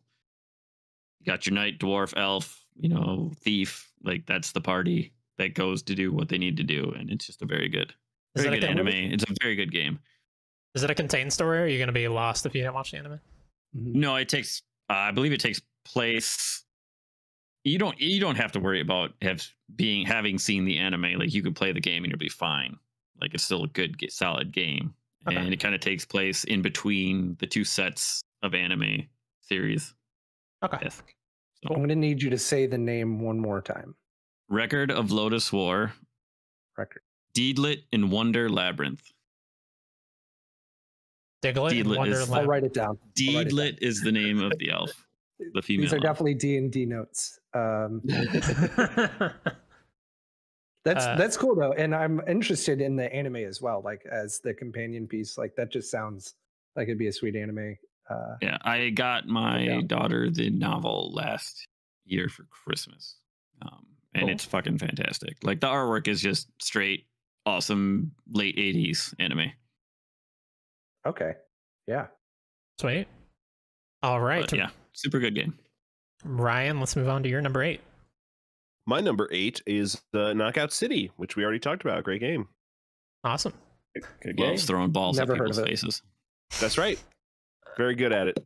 Uh, Tyler, your number eight. Hey, forgot I was next. Um, Ryan okay, was so quick, just like Tyler's prom night. That's right. um, my number eight is Cyber Shadow. Um, this game came out very early in the year. I think it was like I think February. it was. January. It was Was it very January? I early. couldn't remember. Um, thought that was I think it was didn't, uh, January because it came out like right after Sword of the Necromancer. I yeah. Um, but it's a great game, 16-bit side-scrolling puzzle platformer. Um, not really puzzle, I guess. Yeah, more of an action- action platformer. Action platformer. Yeah. Action puzzle. Yeah. I, well, it the reason I, I thought of it as a puzzle platformer is because like so many times you're going through that game and the platforming becomes a fucking puzzle because you're like, how am I gonna jump off of this thing and then hit this thing at the perfect timing to get another jump so I can jump to this thing and then hit this thing, get the perfect timing and just keep these chain reactions of jumps and slashes going. Um, the movement in that game feels super good. Uh, just jumping around and slashing stuff and keeping these like chain reactions um, afloat. Um, the combat is fun, and the boss fights are super cool, and the story is badass. I mean, it's really all you could ask for in a 16-bit platformer, in my opinion. It, like it hits every note in that aspect, and I, I just had a great time with it. And the last boss fight was one of the most challenging boss fights I played this year, and um, it felt so good afterwards. You know, it was one of those moments where it's like when you defeat a Dark Souls boss or something, where you're just like, "Fuck, yes," you know. and anything that can make me feel like that is like a winner in my book. Did you play Ghostrunner? Oh. No, Because I literally thought you were talking about Ghostrunner for a second. It's Yeah. literally like a puzzle action game. Like Yeah, that one's in first person though. Uh, that game does Yeah, seem really is cool. a- I heard it's basically unplayable with a controller though. But maybe Oh, the person who said that was just I- bad. I don't know. I've done a fair bit with the controller, but I haven't beaten it yet, so I can't say for certain. Uh, yeah, I played Cyber Shadow earlier this year too. I, I enjoyed it quite a bit, but for me, it felt like uh, The Messenger, but not nearly as good, which is a game I adore. So I, I couldn't get like super into it, but I did. I mean, I finished it. I had a good time, and it's got a great soundtrack. Possible Modi, right? That's right. Mm. All right, uh, my number eight is Bravely Default 2, which we've already talked about. Genetix, Uh, my, what's your number seven? my number seven's Knockout City, which we already talked about. So Hell yeah. All right, Preston, Let's you're number this thing seven. going. We're rolling now. Number seven, prepare to get wrecked. Uh, we'll be here a while. It's Forza Horizon Five. Uh, no. ooh, Well, you that have a was in contention for my list too. Yeah. And li- oh. little known fact about this game, Ryan loves Jimmy's. True. Loves No. them. No. Best car in the stand for this game. other game. We'll show you where to find No. it. Yeah. Trash. Get out of here. It's fun. It's so much fun. You get lost in that game. It's gorgeous. That is the Xbox Series X showcase game. Uh, way more than Halo Infinite is. Oh, Halo uh, Infinite could have existed on the Xbox One. Yeah, for It, it does, doesn't it? Yeah, I guess it does. Does. Well, Oh, so does does? Horizon. Oh, as yeah, yeah, well. yes, they do. Um, Oh, They they, both- both do. Yeah, but they're both and, like and it's scaled down, of course, right? But Horizon is just so gorgeous and so much fun, and it is definitely one of those games where it's the uh, see that mountain, you can go there, and it's a hell of a lot of fun to get there. Uh, the there are I know there are complaints about sort of like the way that they've implemented the open world systems and sort of like uh, player interactions, but I didn't really play a whole lot of the other ones, and so I don't have much to compare it to, other Right. than it Player just being- interaction that I don't like is the heavy-handed tournament that Ryan created just so he can fucking stunt on all of us. Yeah. Yeah. I mean, I haven't not played a a fan. crap ton of it, but I've played enough of it to where I've kept the like 100 gigabyte file on my Series X because I'm like, Yeah. oh, I'll probably load that up and still And just it is fuck around one- a little bit here and there. Yeah, and exactly that. Like you can get as deep into the game as you want, and you can go after collecting every single car and getting first place and beating everyone else on the leaderboard, uh, or like on your friends list on the leaderboards. Or you can just jump in, dick around for a little while, and just have a good time Yeah. and be sort of as competitive as you want to be. Or again, you can Mod- play race yeah. like D class jalopies and have a that still a fun that's time. where it's at right there. Yeah, Race- Yeah. Racing Tyler- D classes Tyler- for like 30 you minutes can across be the on track a that team takes three with three minutes. other people that you supposedly do a podcast with, and they just put you into the wall. That's the only way to play. a Me, and- me and Tyler Yeah. play like fucking Mario Kart, and everybody Yeah, hates that's right. for. I'm- I'm Every racing it, game is Mario Kart, and nothing will ever be better than that. Horizon is like the only racing game that I can play, um, just because it's like it's not on my list, but it is like the only racing one that I enjoy. Like I can't do Forza, Forza Motorsport Yeah, or yeah. Gran Turismo. I can't go around in a circle for fucking six hours like Ryan can. well, and Well, there's so many That. there's so many tweaks for people that aren't hardcore into this, like where you can just download someone else's uh, Tuning. setup. Thank God. tunes, That, that's very Yeah, and necessary. you can still like really make your car the best for what you need it for for that specific race, and you can do it for relatively Yeah. cheap considering how often you get money in that game. Yeah, and I think I'm most comfortable in the A's. Like I do, I I fucking loathe supercars in those fucking Mhm. games. I like like I'm just everywhere. I'm like fuck that. Like I like A's where it's just like it's good enough that you can actually feel like you're doing very well and still like Not losing do fun maneuvers and not fucking take three hours to do like a 150 yard fucking lap. But Yeah. I don't know. I enjoy the horizons, Yeah. but yeah, it's not on my list. But yeah, that's like the only and and the music selection is usually pretty good. And I don't know, They it's just a fun game to just screw around. They played a "Bring Me the Horizon" song, which is one of me and my girlfriend's favorite bands overall. We were like, "Oh my I god!" like that, but I do not like the song that they chose for. oh yeah, the that. song they chose is "It's Teardrops," right? Yes. Yeah, that's the one she definitely always like is like I kind of want to skip, but it's still "Bring Me the Horizon," so I like it, whatever. Mhm. But it's like it's the one she's always like it's one of their worst songs. So, but yeah, Yeah. their music choice overall is good too. Hey, This is, of Oh, course, go ahead, on Ryan. my list. of course, on my list. Uh, this was not The not going car guy? No way. As, as someone who is uh, a very Jimmy lover. And go shut the fuck up. the guy who plays SnowRunner and stuff? No. Yeah, it's almost almost 300 hours of SnowRunner. Uh, No way. he likes the car Yeah. game. Uh, no, it, it handles exceptionally well. I think I do Mhm. prefer uh, dirt handling in Forza over asphalt handling. I still think Gran Turismo Mhm. has the best asphalt handling video game on the market. Um, but it handles exceptionally well. The vehicles uh, are numerous and all feel very good.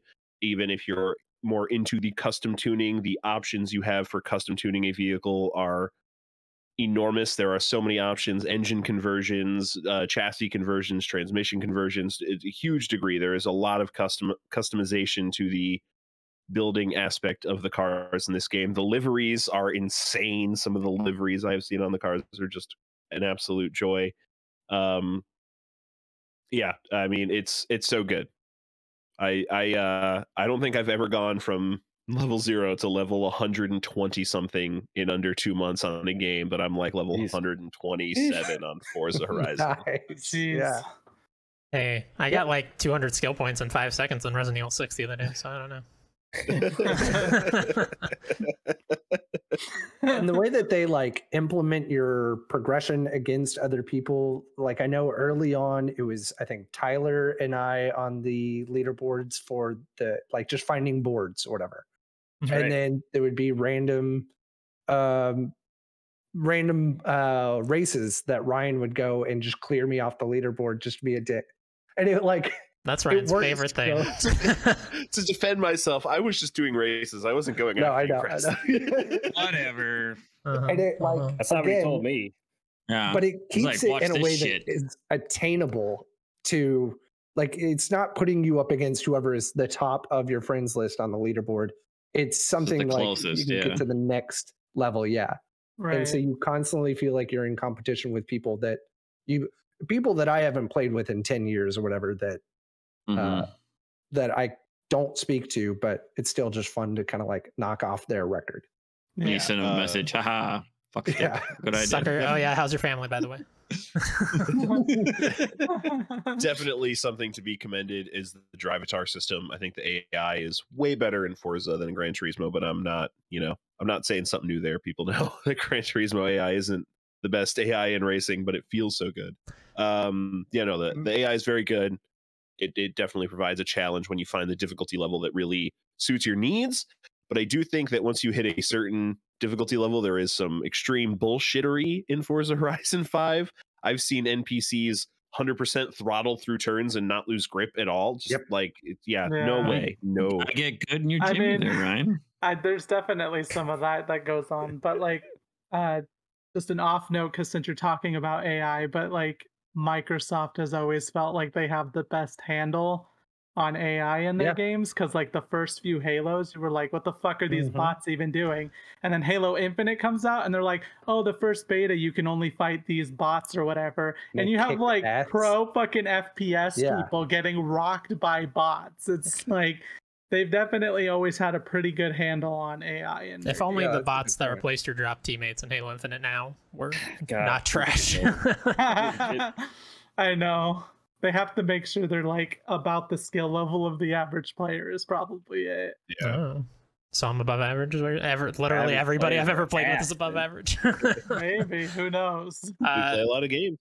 Yeah, I like uh Forza. J- just to talk about the online a little bit, I think the online's a little janky, or at least it was at launch, where like you form a team, but then like when somebody starts a race, first of all, only the team leader can start a race, and then everybody has to like push a button to join the race. Otherwise, you get kicked from the party, and you have to completely reform the party afterwards, and it's a huge pain in the butt. Mhm. That you like share waypoints stuff like that drives me nuts yeah, yeah. a lot of stuff with the online needs a little fine tuning, but it is super fun. I, I think my big thing with Forza Horizon 5, and like I totally get Ryan, like why this would be on your list this year because you you play for you played the other Forza Horizons and you've done literally fucking everything in them because you're an insane person. Uh, but like for for a lot of people, it's like why I don't know why you would play Forza Horizon 5 over Forza Horizon 4 when there's probably a million races in Forza Horizon 4 that you haven't done, and they just feel very similar to me, like basically the same. But there's a ton of new stuff here if you've already done a lot or all of the stuff in four. Well, they don't have Jimmy's in four, so Oh, I interesting. got the new Jimmy. Which means in- four is a better game. Oh, Oh, okay. Uh, all right. also no Lego mode yet, right? That's true. Their first DLC is always weird. I think the first DLC for Horizon 3 was Hot Wheels, and then Horizon 4 it was Legos. Who knows where they go? I don't know. Uh, what is it, Mega Bloks or whatever? The, the shitty Legos. You go to uh, Erector sets. It's gonna be Minecraft. It's like Tyler's prom night, Ooh, they do breaking out the Minecraft erector now. set. Yeah. yeah, that's right. Uh, all right, let's go. Tom, you're number seven. Uh, my number seven is not liked by some of you. Uh, uh, The Ascent.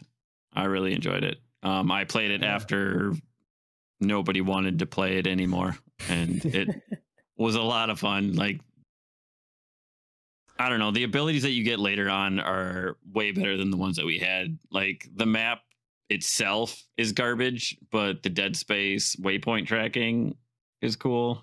Um, story is pretty much just like whatever, but this is my like niche, really the cyberpunk. I'm very Shadowrun, so I had a lot of fun with it, even when I had to play by myself. I mean, it would be nice if the online was not completely fucking broken. At least when we were playing, it was just constant disconnects and BS. Yeah. Yeah, But I mean, they I had, also have um, been updating it consistently. Like they're adding Yeah. content like almost every two weeks. I see him post something on Twitter because I follow the Wow. studio. Um, and so they're constantly working on it to get it like way better and adding new stuff. Um, I know they are making it snow now. I think for the uh, holidays, and I don't know. I had a lot of. I had a good fun fun time. Yeah. Yeah, I But think the know- reason I had to pull off of it was because I didn't have an Xbox Series S at the time. I just had my Xbox One, and uh, it ran like ass on that. Yeah. I, Yeah. I wasn't able to really play it. Um, load times were just bad, and you know it just caused all kinds of issues. And then we Yeah. had something else come up, like Eh, super quick after that. Yeah, I mean, even once you got your Series S, I think we tried one play session, but then me and Ryan's on PC kept crashing too. So I don't know. Or actually, That's what it was. I- Yeah, I don't remember we if I was playing PC playing or Series else. X. I don't know. I was also playing Series S, yeah, and we were still having issues. I don't know. It was fun enough, but definitely a little too buggy for me to. I didn't even put at it the into time. Yeah. Yeah. I, I mean, I appreciate so- that you enjoy it a lot, Tom, and it's definitely like it's not super my aesthetic. I'm more fantasy than sci-fi, especially cyberpunk. But uh, like if it's your aesthetic and it's your thing, like I think it does a good job at that aesthetic. I think the town looks super cool that we visited the city. I will absolutely. Also, one of those ones I'd like to go back to at some point too and check it Yeah. out. because it's Yeah. just it, it was broken. I played it for the launch weekend, and yeah, I was trying to play it co-op, and you would have just entire sections of the world not even loading in as you were trying Yeah. to walk up to it and things like that happening. And this is on PC, uh, but what they did once it worked, it worked really well, and it was a lot of fun. And that sci-fi setting, they absolutely nailed it. And so yeah, it's it's super cool looking world that they have. yeah if they're polishing it up and it's it'll probably be one that i go back to and it seems like as long as the connection is stable it seems like an awesome co-op game mm. Yeah. All right, Ryan, you're number seven. My number seven, a little indie game called Lake that got a little critically panned in my view. I really dug this game. It stuck out in my mind. I see this face, Preston. Uh, I don't know. It stuck out in my mind as just this really special experience getting to meet. This these is the skinny dip, skinny dipping game, right? Where you just go on the lake. oh, was there skinny dipping? Now I No, know. that's right. Leisure Suit why Larry. Uh, Also Right, on there's Ryan's that. goatee list. God no. Uh, no, you're just this middle-aged lady who's watching her parents' house for two weeks while they're on vacation. You're coming back to your hometown after uh, moving across the country and working in a city for a lot of your, you know, young adult life, and you know, you you're having a lot of, a lot of like, I guess, kind of middle-aged thoughts. But like, you know, do I want to move back home? Do I want to stay in the city and focus on my career? It- I don't know. I thought it was just a very like down to down to earth life, Mhm. you know, game about life. It was very relaxing. It had very chill music that really fit the late '80s vibe it was going for. Uh, and I just had a really fun time over my I don't know eight hours or so of playtime, and it just hit Game Pass. yeah. Yeah. Uh, yeah i uh, checked it out just this week Yeah, and also for some reason, when you come home to visit for two weeks and watch your home, you become a mail person with no training, which seems very illegal. But Yeah, I was about to ask. Isn't It's this a the fucking mail 80s. carrier game? It's the 80s, and that's a blast. Like it is. They use Yeah, the you can't run people illegal- over. You just do cocaine and fucking deliver I also man. love Death Just Stranding go and eighties. Snow For the Sue mail. This is But it, that's what I was going to say. the- This is definitely the game for the guy that put 300 hours into SnowRunner. Like, SnowRunner. this is- absolutely. I but it, it they use it really well as a vehicle to like meet new meet people that you've met before, right? Like it's it's Mhm. not just the gameplay mechanic; they use it narratively effectively, uh, and to like introduce interesting subplots that I never saw coming. Like I never, I don't think anyone cares if I spoil Nope. things about Lake, No. right? Uh, I Yes. don't think so. Don't. We're begging if you don't actually care, it. yeah. Uh, Skip forward like a minute if you care. yeah, probably. uh, there's this really Wait, interesting he subplot about care? So about an illegal baseball gambling ring running through the, the mail Oh, that's department. actually kind of interesting. yeah, Okay. like there's there's fun stuff to be had. It's not it's not a 10 or anything, but it really left an impression on me. It really put a good good smile on my face. I really enjoyed like this year. I Spoilers are done. Uh, Spoilers are done. We can tell Tom to put his headphones back in. I had a similar experience like that with unpacking. Um, Dude, this year. Hacking was so cool. I was close to considering it, but the fact it's the same as the Metroid Dread thing, but it's like the fact that it's twenty dollars and it kind of ends pretty quickly. Yeah. Like it ends super quickly. Like his half hour thing is Tyler's pretty Prom Night. close to unpacking. I think it was but like yeah, three or the four hours. is, all right. Well, it's just like a very unconventional way to present a video game, and it does a it does like the mundane task as part of the storytelling narrative that just gets you to in unpacking. You learn the history of the character, and Through Lake you also learn that and right, and in Lake you learn the history of the character just through your interactions with the townspeople. Right. Uh, but is the twist at the end that you were in purgatory all along? Because that's the way it feels. Got him. Uh, it was. it's it- better it's- than hell. it's true. Is it Uh, though? that's that's Dante's Inferno from however many. Yeah. Uh, that's what she would have been doing.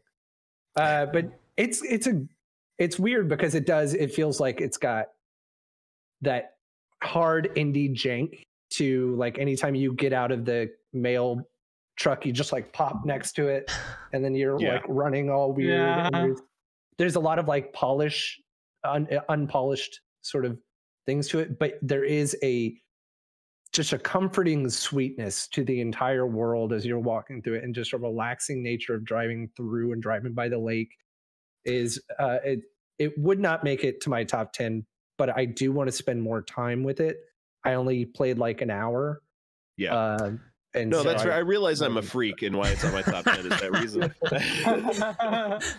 I just one of the weirdest things to me about that game is the way that the people interact back with you.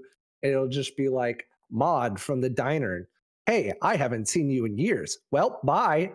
It's just like that. It's all the This is the conversations are just like people have. awkward, abrupt. yeah, it's it's really it, it's it's kind of piecemealed, right? You know, you get like a little bit on day one and then a little bit on day two, Yeah. and you bring in the next back. Yeah, so that's fair. Yeah, I remember can when you slept with my people- son. well, see you later. Have a good one.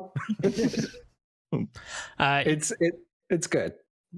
I, I played the demo earlier this year. Uh, I, I played maybe like 30 minutes of the demo because it was super broken on stream, so I stopped playing it. But uh, it, it felt like a Hallmark movie, Hallmark original movie. yeah. you know what? I don't So hate that. you're a middle-aged woman, you are gonna love this. I don't hate that comparison, but I think it's like it it works really well in that video game. Like That's fair. because it's like that's kind of what it's aiming for, but it comes across as such, and they nail it in a good way. They don't like over cheese it or Mhm. tr- you know try too hard in any one way, shape, or form. It's just like I, every trailer I saw felt yeah, kind of like a Hallmark gift card, and that's the game I got, and then I'm so happy about it. Yeah, Yeah, K I- song K song is great. I'll say that we listened to last week. I think it doesn't feel it doesn't feel natural, but it feels authentic. Um, and like the writers sort of knew what they wanted to go for, but It's just a Mhm. low budget indie game. So they, Yeah. there was there's a lot of barriers between what they were trying to tell and the way it's presented. Hell yeah. All right, Tyler, you're number seven. My number seven is Resident Evil 8. Village. Uh, Village. Yep. You can call it eight. It's fine. Um, Eight inch. Eight. Uh, Eight-inch. game is hard to talk about because we played it so early in the year. It felt like, um, and it was pretty short. Just came and went, but man, that game does some really unique shit for the Resident Evil franchise. It has one of the coolest interactive things that I've done in a very long time, as far as House Beneviento, and just like know, the you know. puzzle design. What is it? No, it's Beneviento. I said if you know, you Okay. know. Uh, Yeah. I thought you said it again, and I was like, what the fuck? the reaction watching people like a reaction compilation to the house Beneviento or whatever was like the best thing ever It's- that Yeah, part is and, uh, really it's cool. the scariest thing dude. that's ever been in Resident Evil. Yeah, and Yeah. it gave me like this really special moment with my wife because I was streaming it and she was sitting there with me, and we got to that point in that house where shit starts popping off. And it was just like this super fun moment of just her and I experiencing this super unique thing together. is that the one you were streaming that I watched? Because that was very funny. Yes. Yeah, Um, my it's just, that whole game Okay. is fun. Go it's ahead. No, you got it. that there ahead. not being spoilers for it makes me not able to say the random fact that I know about it. mm, yeah. Uh, let's try to avoid spoilers. But um, Yeah, But sure. yeah, my, my mom watched me play that game. Uh, for some reason, she hates horror, and the, the that whole house Beneviento. She was just like under a blanket, like, "Is it over? Is it over? Can I take this blanket off my face?" Uh, it, it's the worst. And the sound design in there, like, uh, you you got to plug your Oh, ears too if you're trying to avoid it. The sound design's amazing. But like even outside of that, like that that's the one non-action part of the game. The rest of the game is very action oriented, and it's the best action that Resident Evil has ever had. The best like progression in terms of upgrading your weapons and doing multiple playthroughs to fully upgrade your weapons. And you get to a point where you just have guns that are one-shotting things with infinite ammo, and it's absurd. And even the highest difficulty in the game, uh, you can kind of breeze through. Not not really, because it is like you'll die in two hits. But I had a great time with that game. Played through it five or six times uh, to get the platinum trophy, and I did all the mercenary stuff and got S plus on all that crap, which is super super hard but super rewarding to like because it becomes like a puzzle game of figuring out the route and what weapons you need to use and stuff and it's super fun to figure that stuff out on your own especially on the hard versions where you have like it's very specific guns you, i think you have the grenade launcher and like a magnum but you have very limited ammo and you have to do a lot of knife usage you have to manage your buffs that you're grabbing because it's kind of like a roguelike mode almost which is very cool uh yeah i i, I adore that game uh like the story i can honestly take or leave i think it's a good story for resident evil but Yeah, that's that's one of the things I was going to say is I think it has one of the better stories, and I, I think it gives uh, some really cool context to It- this weirdo character of Ethan Winters, and uh, I think it I think- sets up the possible future of Resident Evil pretty nicely too. Oh, yeah, as far yeah, as the way it sure. ends. So yeah, So- and, uh, go ahead. Go ahead. No, no, you got you're good. No, you. Oh, I don't remember what I was going to say. uh, preston what do you got awkward. Ah, uh, okay. So for the uh, for Village, if you are uh, terrible at action, um, oh my god, survival horror games, Yeah. are you still going to be able to play through it fairly easily on normal? Like, Oh, is, yeah. uh, like the the aiming in that game always felt a little bit off. It wasn't quite on. I, I think this would- is the best it's ever been. It felt I Okay. I think it felt good to play.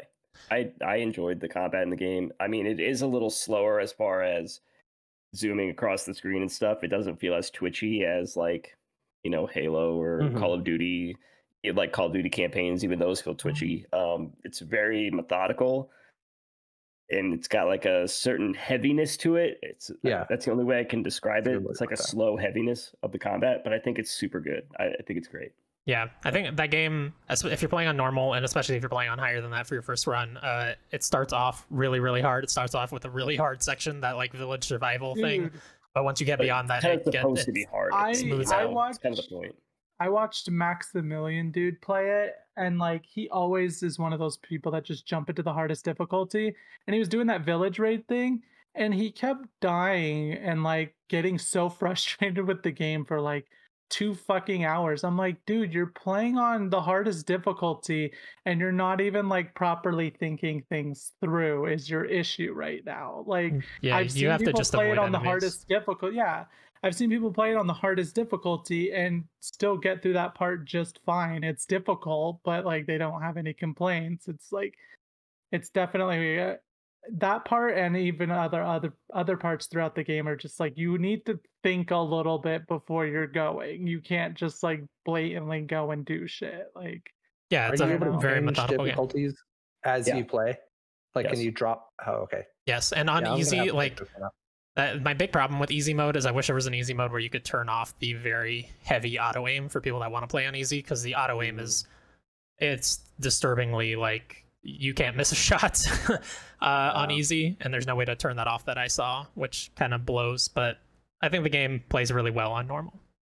But Okay. it, that, again, that first village survival is hard. It's got like the first survival village thing at the very beginning. It's also kind of a set piece, um, which I think really sets you off on what that's like campaign is going to be.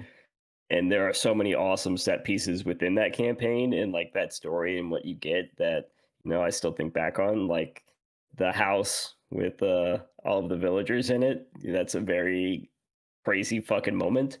Um, you know, you get to go to a factory at one point, and there are crazy fucking moments in there. I mean, th- there's just all these little things that happen that I think are so well done, and like the Think- characters are super like realized. Like even the uh, the Enemies and and, stuff. like, yeah. this family that you have to go against. Um, it just feels really fleshed out and alive and crazy. I love it I was gonna say if you wanted to say what the the some of the factory stuff looks like, you probably can, considering there were articles on every fucking website showing pictures of the enemies because of that whole like they stole the design from this guy or whatever thing that was going on for a is, while. I there. think it's a lawsuit that's still in the air or something. I don't know. Wow. Is Wow. it? I didn't even know Yeah, I don't that. I didn't know it was like an official lawsuit or anything. I just heard people Maybe it's like not. complaining that they were stealing a design from somebody and i was like we're kind of at that point with media don't you think where it's like you take clear cut inspiration from a lot of other things what else Yeah. are you going to do with a freaking freaky ass metal guy who works a, a factory that deals with all the zombie bullshit like what, what else are you going to do like Yeah. anyway it's i don't play those games typically i watch them i did have final fan or not final fantasy fuck I I'm thinking of Maximilian Dood's playthrough, and he's obsessed with Final Fantasy VII. But uh, I watched playthroughs for Resident Evil 2, and I still put it on my top 10 games because I watched every single fucking person play it. Pretty much, I was like obsessed with it, and it's like I can't play those games for crap. I get too scared. Like I get too invested into the characters and stuff to do that. I need somebody else playing it and like their reactions and stuff. But I watched a crap ton of Resident Evil Village playthroughs, and it's not on my list because I did eventually decide that's probably not the best way to do that. But if I had played it, it would have probably ended up on my list. yeah it's it's definitely an amazing game and if it weren't for the fact that for some reason the speedrun community like shuns doing normal difficulty runs it's like easy runs hardcore runs and Village of Shadows runs is all they care about i would be speedrunning it probably because i would like to speedrun that game on normal i, I love it um, yeah, it's definitely weird how that works. And also, uh, I'll uh, I'm was gonna s- tell Preston. Um, I know Max did some kind of controller setting when he started it, and he said it felt more like a an actual traditional shooter game. Like, yeah i think rob Oh. it um, was that dropped that in our discord when the game came out and that did help a lot i don't remember what the setting is i'll have to Yeah, find I'll it in there I'm but I'm, Look it up. that's what I'm telling. Like, basically, I'll Yeah. go check that playthrough and I'll message it to you, whatever it Okay. was, or if he finds it or whatever. But th- a lot of people say they change that thing and then it immediately feels. A Oh, yeah. better. I think it's like a adaptive aim speed or something where basically it starts moving slow and then gets to normal speed. You turn that off and it's just normal speed all Yeah. the time and it feels a lot better. That's how Control was, and I hated it so much. Uh, I loved Control, but I hate that adaptive speed thing. Uh, so that's good to know. I, that's good to know. You can change that. Yeah, that should probably help your control feeling issues or whatever. Awesome. Uh, all right, my number seven is Metroid Dread, which we've talked about. Uh, so Genetix, you're number six. My number six, which I did tell Chris was at my number five, but I have pushed it down several times, is Tales of Arise. Um, it's a If very you didn't play the game, good grab a pillow, take a nap. We're gonna talk about it for a while. It's a very good looking game. Also on my The list. call the characters are very well done overall. Um, but for me, the story hits some drag points. Like I'm not even fully through it because it's like it feels like it starts to lose the focus on the characters and it starts focusing too much on the overarching story, which is kind of generic RPG bullshit anyway to me. Like if it's fine. And then like the enemies are way too samey the whole way through. And then I'm sorry, Ryan just launched Loop Hero while we're having this conversation. and then and then combo routes that are afforded to you get a little too the same the whole way through. Like I I've been playing as Dulcim. I can't even I'll see. what yeah Dulcim. It's pretty close to the freaking No, it's Dohalim actually. yeah. Dulhalim. There it is. Yeah. Dulhalim is- Dul Dul Dulhalim is a fucking Street Fighter is character. Street Yeah. Fighter. Yeah, that's what I was thinking of. Okay, I played as Dulhalim a lot, and he's like my favorite character besides like Kisara, and like I really like his combat flow, and there is like a lot of different stuff you can do, but it kind of feels like you're just you drop into cookie cutter mode to get through the fights because it just doesn't feel the best. And then the one other thing for me is I like the CP system, but the economy that they established around the CP system is freaking stupid. I bought the collector's edition or whatever, so I get the DLCs or whatever, and I have a 40% off of your item shop items. So I was paying 1800 for orange shells. I was like, this is freaking stupid. And then I found that artifact and I turned it off and I was like, it cost 3000 um excuse me what? Like Yeah, it's, It's uh, so that game's economy is fucking ridiculous. For the first like 20 hours, the economy is really Yeah, bad. It it gets better, but like eventually you get to a point where it's a little bit better off but it's like i don't know. I think it's really good and it's definitely one of the top tales games. It's just that i would rather the tales series not take certain aspects from it moving forward because i still think like graces has a better combat system graces f specifically and then i still think that like vesperia and symphonia and stuff like that present their story in a better way if we're calling people out, I just want people to know that Tom picked a switch up. and put on a motorcycle helmet and Preston's taking care of errands. Yeah, I can't, I can't see Tom. It's fine.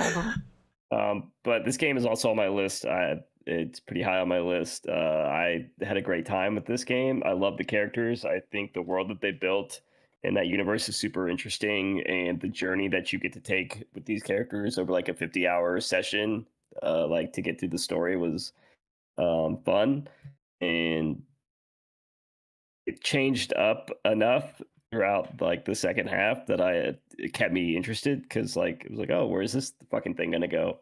And I think that was one of my favorite parts was like figuring out that mystery and um Oh, uncovering these relationships with these characters and watching them evolve. And it is that anime JRPG bullshit that I fucking love of like hey here's your crew. Let's see what happens. We're gonna put you all together and then you know it's like find out when seven people start getting real it's like the real world of fucking Right. Like um another thing for me is like figuring out where the story is going. This story in this game does hit a crap ton of the story beats of Tales of Symphonia for me, so it was not very unpredictable. Like by the the last like fourth or whatever the fuck I have to play through might get me a little bit more interested. Like this game was jumping from like number three to number six for me. It's just like as I argued with myself, other games jumped up above it. That's all. Like there's Yeah. definitely a part of me that feels like I could get to the like halfway through next year and be like, oh yeah, it probably should have been higher up, maybe. But like there's definitely some stuff to it that grinded me to a halt. And I have not played it because other stuff's been dropping and keeping my attention better. yeah, this game's also on my list. I'll say the core premise of it shares a lot in common with Symphonia, but I think the story differentiates itself pretty well, and the characters are certainly drastically different than the characters in Tales of Symphonia, and I appreciate it uh, for what it is. And I think other than maybe Grace's F, which I, I, we played together, Genetix, and I absolutely love that game.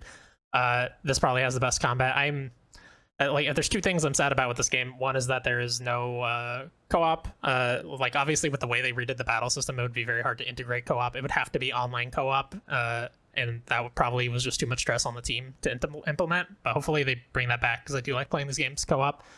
Uh, and the other is like there's a very bad difficulty spike very late in the game that kind of blows. But uh, other than that, the yeah. pacing I think is really good, and I like even though the economy is kind of really jank, I think it adds tension to the early encounters. Uh, oh, 100%. That I enjoyed. Uh, and, and I really like, I love this game story. I love that it takes a really crazy, weird shift, like about two thirds through the game, has some really bizarre plot twists near the end that I loved. And I know pissed a lot of people off and they're like, oh, I, I just don't like the game anymore because of these end game plot twists. And I get it, but it's super, it's super JRPG weird shit. And I liked it. Right. Like yeah, I know I still I need to play it more to get to those points. I just haven't felt the urge to because to me it felt like Alphen and Shionne to me are the weakest characters. I I'm I like them a lot, but they're the weakest in the bunch for me. And so you hit a certain point where they're now the focus, obviously. And so and you lose Law, Kisara, and Dohalim as a focus like they're still in the party they're still interacting it's but it's similar to other tales games where the main characters obviously have to take the focus the main narrative has to come to fruition. But unlike other tales games those characters don't connect for me as much as those other games main characters do. So that's probably like the main disconnect whenever i was thinking about it because like i like alphen and Shionne but they kind of aren't as good as the other characters to me so i don't know yeah, I I'll say I didn't like Shionne early on, but her arc is really good, and I liked her by the end of the game a lot. And Alphen. Yeah, I mean, I'm at a point where I'm definitely liking them more, but it's still just like I'd rather have more of Dohalim and Kisara and stuff rather than them feeling just like like little cheerleader characters on the side is what it's been feeling like to me. Yeah, I think they closed out other than maybe Dohalim, who has still some stuff in the late game arc, quite a bit of stuff actually. I think they closed out the arcs of Law, Law and the sister, and Kisara. the sister, whatever her name is, like a Wendell or Win. Rin, Rindell? Wind, Rindell, I think. Yes. Something. Rinwell. Like Rinwell. Rinwell. That's it. Okay. Show some Rinwell. Respect. I hardly know her. Got him.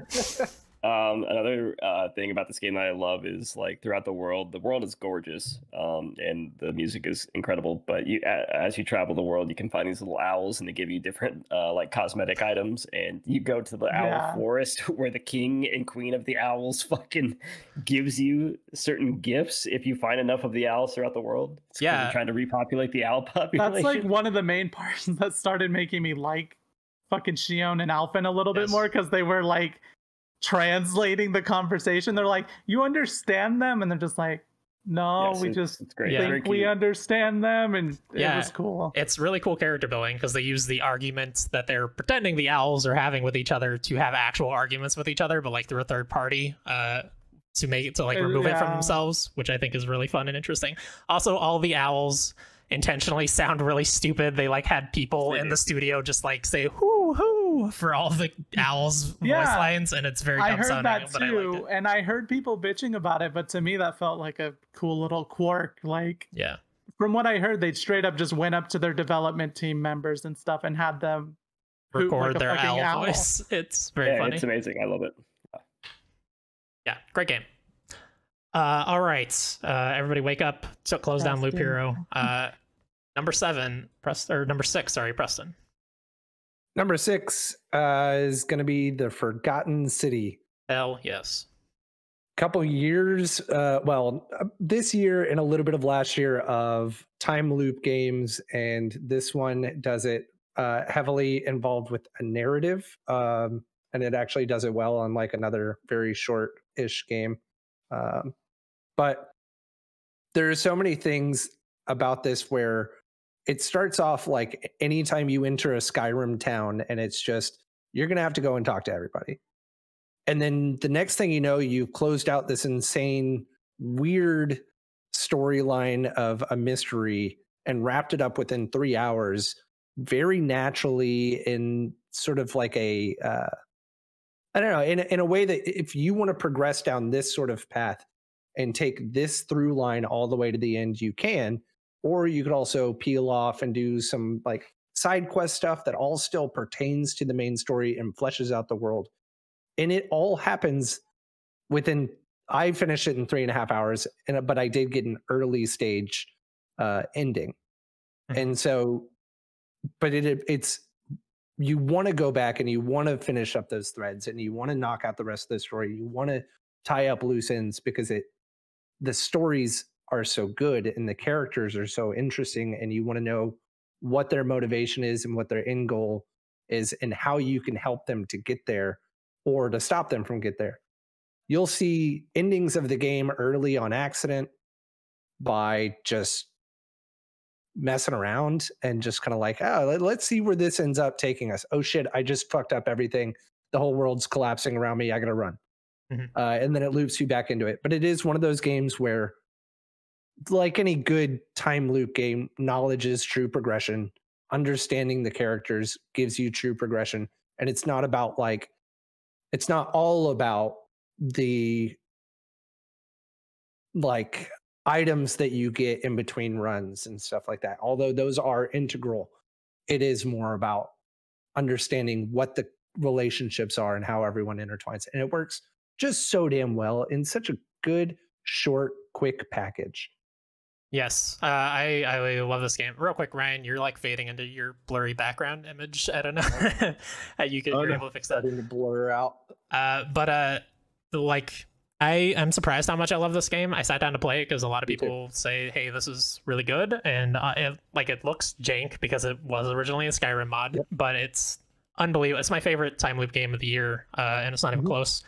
But uh, like specifically, there's very smart things that other time loop games don't do, especially like comparing it to 12 minutes. Something that got so monotonous is like, okay, I have to do this thing and then this thing and then this thing and then this thing, and then I can try this other thing I wanted to try finally when the time comes. But when you come into the town, your your boy Galerius is standing right there, and you can tell him, "Hey, a bunch of shit's about to go down. I need you to go deliver this medicine. I need you to deliver this other medicine. I need you to go tell this guy that I know a secret." Yada yada, so on and so forth. Uh, and he'll just go run and do all these things that you've already done, so that you Yep. don't have to keep redoing the same shit over and over every single loop. Um, you just get back to the point where you were, and you can try new things and experiment that way.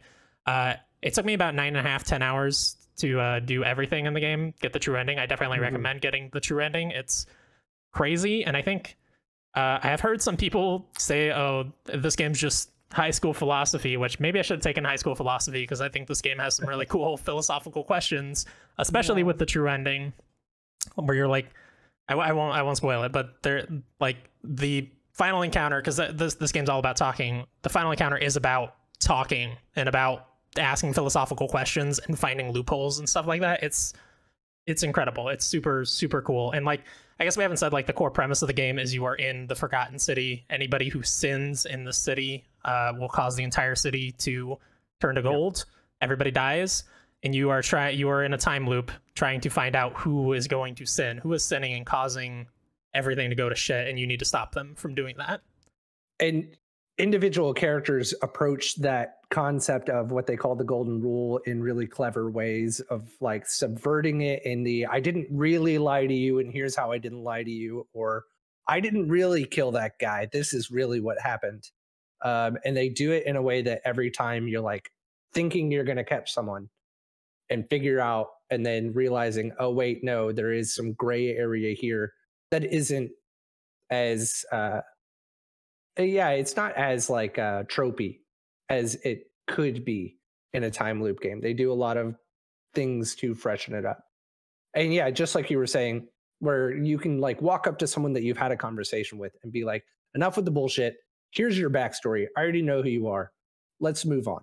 And Yeah. you just get to skip a lot of the monotony of building right. up uh, g- going back through the motions uh, that is one of the games that i will absolutely uh, I, I played it last night it wasn't anywhere near my radar i had started it up whenever it first came out and realized oh shit i'm gonna have to walk around the city and talk to everyone i don't feel like getting that it, deep into a narrative game and so i knew i had to go back before this uh, this conversation, played it, semi beat it, and then immediately shot up to number six. Uh, and it, I'm sure if I had gone back through it and had the time to get the true ending, it would be way higher.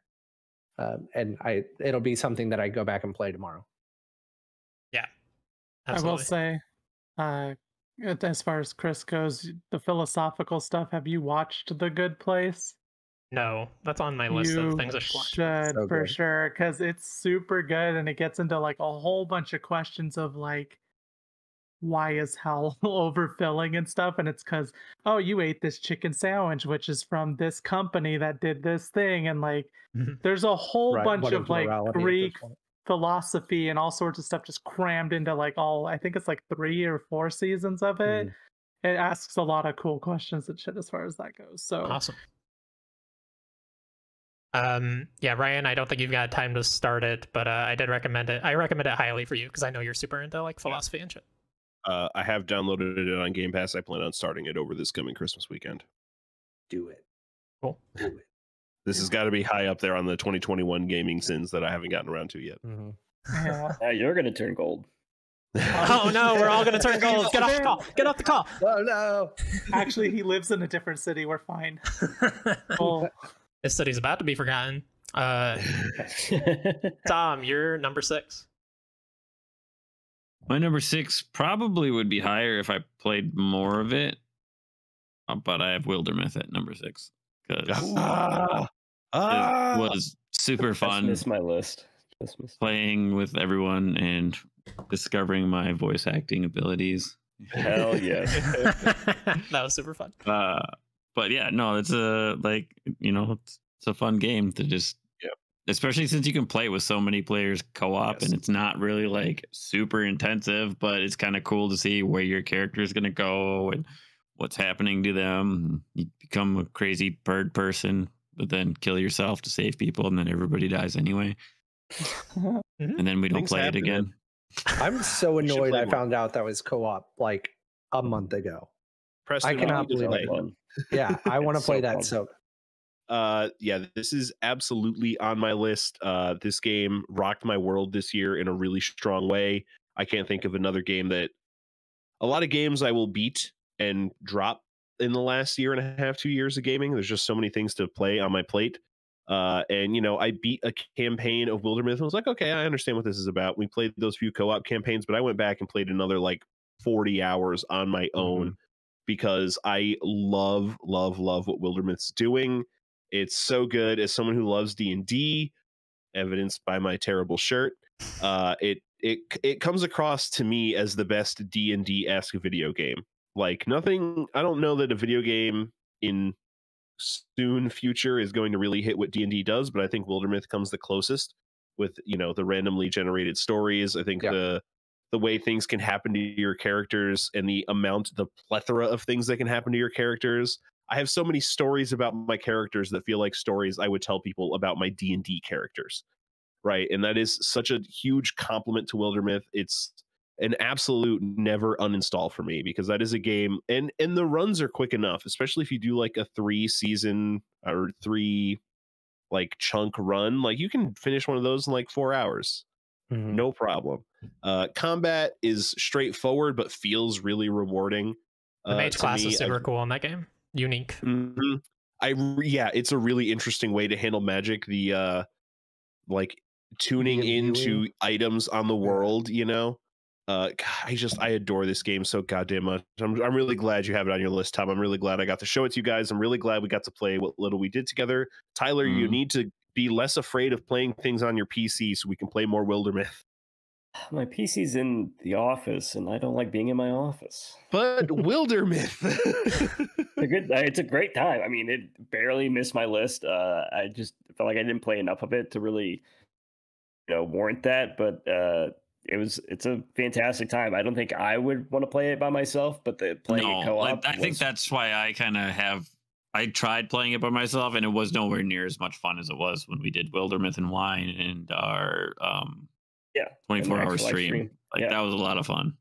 Just playing I it with played- With your everybody. is so incredible. It's Yeah. like you get all these crazy different stories every time that you play, and like being able to like take turns of like, oh, now like Harmonized character is going to go do this thing, and we have like this little side story going on, and then okay, now Ryan and Chris's character are going to go do their thing, and then we're all going to get back together and do this thing. Mhm. And uh, I think the combat is good. I love tactical combat. I think it's great, and it it does enough stuff with the enemy variety like quickly as far as like changing up um like their abilities and introducing new ones and Yep. um and then they get what they change to like berserk or some fucking form and Yeah, well, they get tons of different things. You know, there's all these different cards that get drawn that increase enemy difficulty after the end of each Yeah. fight, after the each like season, and it's constantly changing up how you have to approach these battles.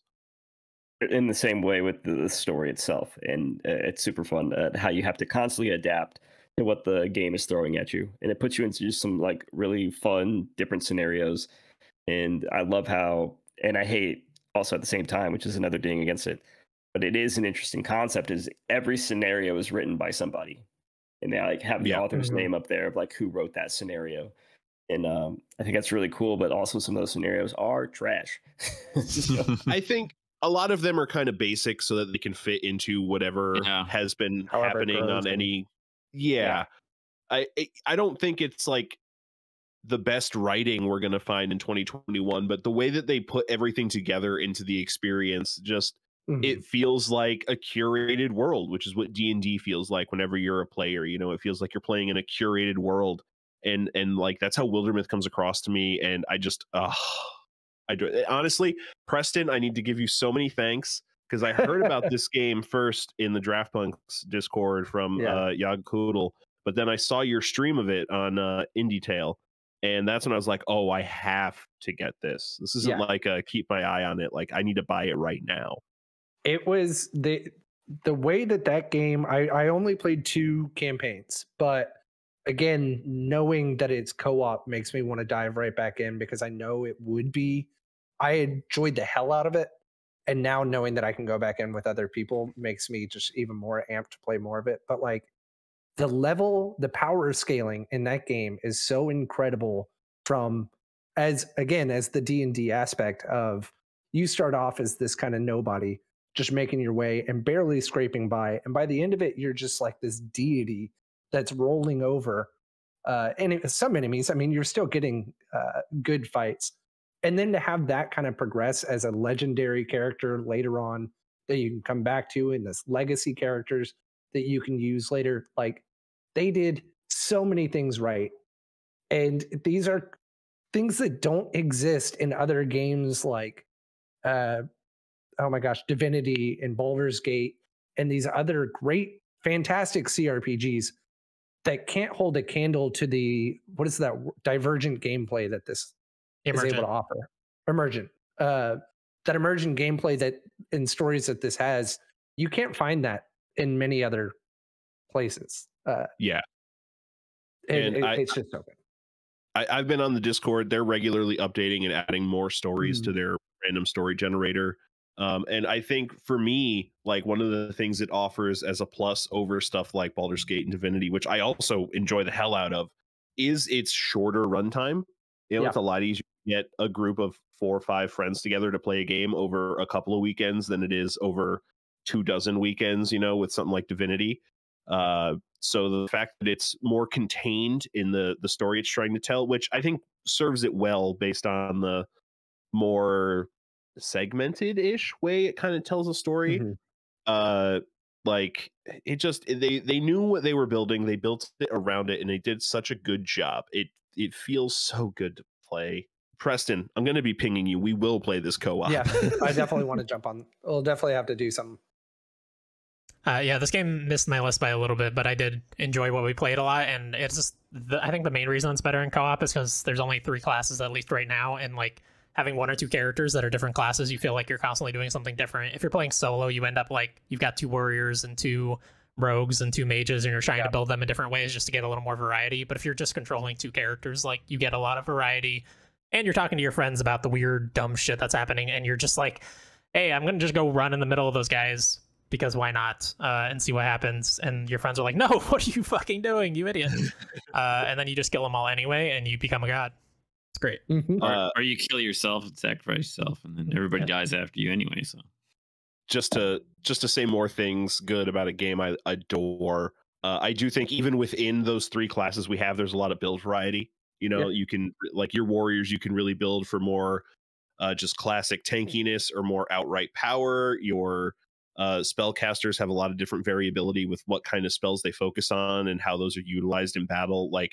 it's a very straightforward battle system. Like you're going to be able to win every battle really your first time through but the more and more you play, the more invested you become in the battle system, the more interesting combinations you can find. Some of my favorite spell combinations, like I didn't find until my fifth or sixth run. Like there's there's a lot of depth to the combat as well. Yeah. Good game. Game. Good Uh, that was your number six, right, Preston? mine. Oh, sorry. I, That was on my list, but I yeah. okay. Still coming. All right. Number six, Ryan. My number six, uh, we already talked about Forza Horizon Five. Great game. Really, I was expecting that to be higher. Oh, there's the top five is so hotly contended for me this year. Yeah. Like I, oh, All right. Uh, Tyler, you're number six. Uh, my number six is uh, Garden Story, which is a little indie game where you play Just as a didn't grape in. Concord. What? You say Tom? It just didn't make mine because I didn't have enough time in it. But yeah, I was I think enjoying I've that game. seen that one. It's a great game. Um, I don't like it, I'm so I'll only say nothing. Yeah, I think I'm the only person that's beat Chris it hates around here. grapes. Yeah, he hates Oh, grapes. okay, he, he hates cute nature. Uh, but no, it was just like a really perfect Switch game for me at night for a good two and a half, three weeks. I got very invested in it. It's got a very easy loop of uh, just going around, gathering resources, doing little odds and end jobs around these different areas uh, to kind of progress through the story. I think the ending is really good and touching, and like just has like a an odd take. Um, it's not necessarily an odd take, but uh, an out of place take for that game of like death and what it means to live your life, which I was not expecting, and uh, it I, it was actually kind of emotional at the end for me, and like how it kind of coalesces into like just subverting your expectations um, from just a little game about being a grape and living in this world. It's fucking weird. It's a weird game. But I loved every aspect of it because it's just like you, it's a, a day night on cycle. my radar of a game It's- to play at some point. You're just doing like these like little odds and end things like there's community centers that you can fill out you collect all the different items within the community center and like take it to the community center um and like you don't really necessarily get anything from it um it's just like a way of getting different um Cards, Like right? That you items. get the, yeah. yeah you get different items that you can like build out these towns but like you don't really have a lot of plots that you can put stuff in and that's where it gets a little messy um but the combat is like very straightforward you you it's like zelda side scrolling combat um, but one of the things that i think is really unique and interesting is like you can unlock memories from doing different things and these memories like are from all of the other characters in the game kind of and they give you different buffs so you can add these buffs to your character and uh, really tailor the game to how you want to play. So like you can add buffs that give you more items when you're harvesting, or give you more stamina so you can do more swings with your weapons or anything really. Um, it was just a really relaxing game. You know, I didn't have to put a lot of thought into it, and uh, it's- yeah, it was surprising. It was my number Yeah. one for a very long time. Um, I think the first time I tried to play it, I fell off really quick, and then I played it like a month later, and I got more into it. Um, and actually played it for a long time. I only made it to is it the beach town that's right underneath you? So it's only like the second Yeah. town. yeah, it's only the second Um, area, so there's like four but- biomes in the game. yeah. I just have not had time, but I I did enjoy what I played after I got back into it. Um, but I did have that initial fall off. I was like, eh, am I really gonna play this? And then I just started playing it at night, like you said that you were doing. I just play it for like 45 minutes or an Yeah. hour, and uh, those little tidbits just of playing it. It was a it was a nice just kind of relax and play this game, even though it's fighting. It's not like intensive or like, oh god, now I lost all this shit, or you know. Yep. It's a good game. I liked it. Still want to play more of it and beat it. Cool. Yeah, I think I think uh, if you don't want to play it, you should definitely look up the ending. I, I think it's really it's cool and touching. And uh, Yeah, Chris. has oddly heavy themes for what that game is setting in front of you. Um, yeah, number six. I'm glad you love it. Uh, How's so passive aggressive? It was like it was very Glad fun. you love it. I Uh, fucking hate it. I, I couldn't do it. I'm sorry. Uh, number six on my list is I know also on Ryan's list. Uh, Inscryption. Fucking love this game. Oh, fuck yes. Uh, this I'm is glad that you love this one. Yeah. Glad you Well, love you haven't even played it. I, Um, I, oh, good job, Chris. Wait. Yeah, I exactly. played four hours of Garden Story and it's trash. There, I said it. No, shut up. It's not. it's fine. Um, Inscryption is a card game where you are playing against this uh, weird enigma that you don't really understand in this weird cabin that you're exploring and solving puzzles and doing weird stuff. And crazier shit happens beyond that Yeah. that we won't talk about because it's all very spoiler. This is a game you do not want spoiled for you. We did a spoiler cast if you have played it, uh, spoiler cast if you will, uh, that we put on YouTube. You should listen to that. It's very good with me, Ryan, Travis, and uh, he was on for the first part. Marvel, sorry. Um, but yeah, like ju- just this part alone that we're talking about, super cool. Like the the mechanics of the card game are very unique and interesting. Every turn you draw a card, but you can either draw like basically a sacrificial squirrel that you can sacrifice for other things, or like a normal card. It feels very Yu-Gi-Oh in the way it works, more so than any other roguelike card game that I played, because you like you, you play minions and then you sacrifice them for other minions. It's very like, hey, this this uh, monster in Yu-Gi-Oh requires two sacrifices, you know, that kind of thing. Uh, and just it's hard to talk about, but there's a lot of crazy, Yeah. bizarre shit that happens in this game that uh you, you're gonna want to play it for yourself and see. Yeah it's uh it's definitely very hard to talk about. I'm going to be talking around it much like chris did. Uh I, I i definitely see the yu-gi-oh connection but there's a lot of similarities for me to magic the gathering. I think in the way that they keep the numbers small and the way a lot of the cards work feels like magic the gathering to me although i absolutely i can't deny that the sacrificing mechanic is very yu-gi-oh inspired um i chris i'm glad both you and i are ones talking about this game because i'm one who's bounced off of a lot of card-based video games and you're one who likes a lot of card-based video games we both games. we Yeah, I both love this game General. Like that's why I've looked at it and I've felt like I want to play it, but then I saw uh, Co Carnage said he loved the first part, and then it hits a point where it dropped him off a little bit, and he wasn't sure if he Mm. was going to continue. So I was like, I don't know if I want No, to jump into I think it's- investing in it. I think it's absolutely worth it. Uh, I, it definitely there's some twists and turns throughout. We're really going to be talking around this game tonight. There's Yeah. not going to be a lot said because we want to talk around it, not I, about it. I will say I have heard from a lot of people that same thing that Co said of like when the game takes its first turn, uh, they drop off. I think the story gets really interesting at that first turn, enough so that it, it carries it through. But I, I get it. Yeah. Um, so I heard for- that, and I was like, I don't really. I'll get to it at some point if it Yeah. pops up on Steam for like way cheaper or something. for for me that first turn is my favorite part of the game like that that chunk of gameplay is my my like i love that bit- bit so much uh i know there are other people that you know love turns that happen later in that game uh, i do think the first turn you know the first section of that game which uh there's a demo for this game on steam like if you're at all interested definitely check that demo out and if that demo clicks in your head please just buy the game just it is beyond worth your time. I it's it's it's what twenty dollars, Chris? I think it's twenty dollars, and uh, if you have not bought anything with your coupon on Epic Game Store, you can use that and get it for ten dollars. Uh, it is it's worth every penny. It is so good, so good. Just, mwah, mwah. yeah most of the criticisms i have heard for the game is either like people don't like after that first turn uh, which you know if you don't like it you don't like it that is what it is and also i've heard that uh, the developer daniel mullins has done similar things in his past games in terms of like subverting expectations but uh i haven't played his past games so for me it was fresh it was new maybe it's like the ratchet and clank thing where if you played his past games this one's not as great but Yeah, Hmm. could be. This is also my first Daniel Mullins game. So, but, but yeah, I, I I adore what they do here. I think the the card game itself is extremely satisfying. Feels very good to get good at that card game, and it's not exceptionally difficult to get good at.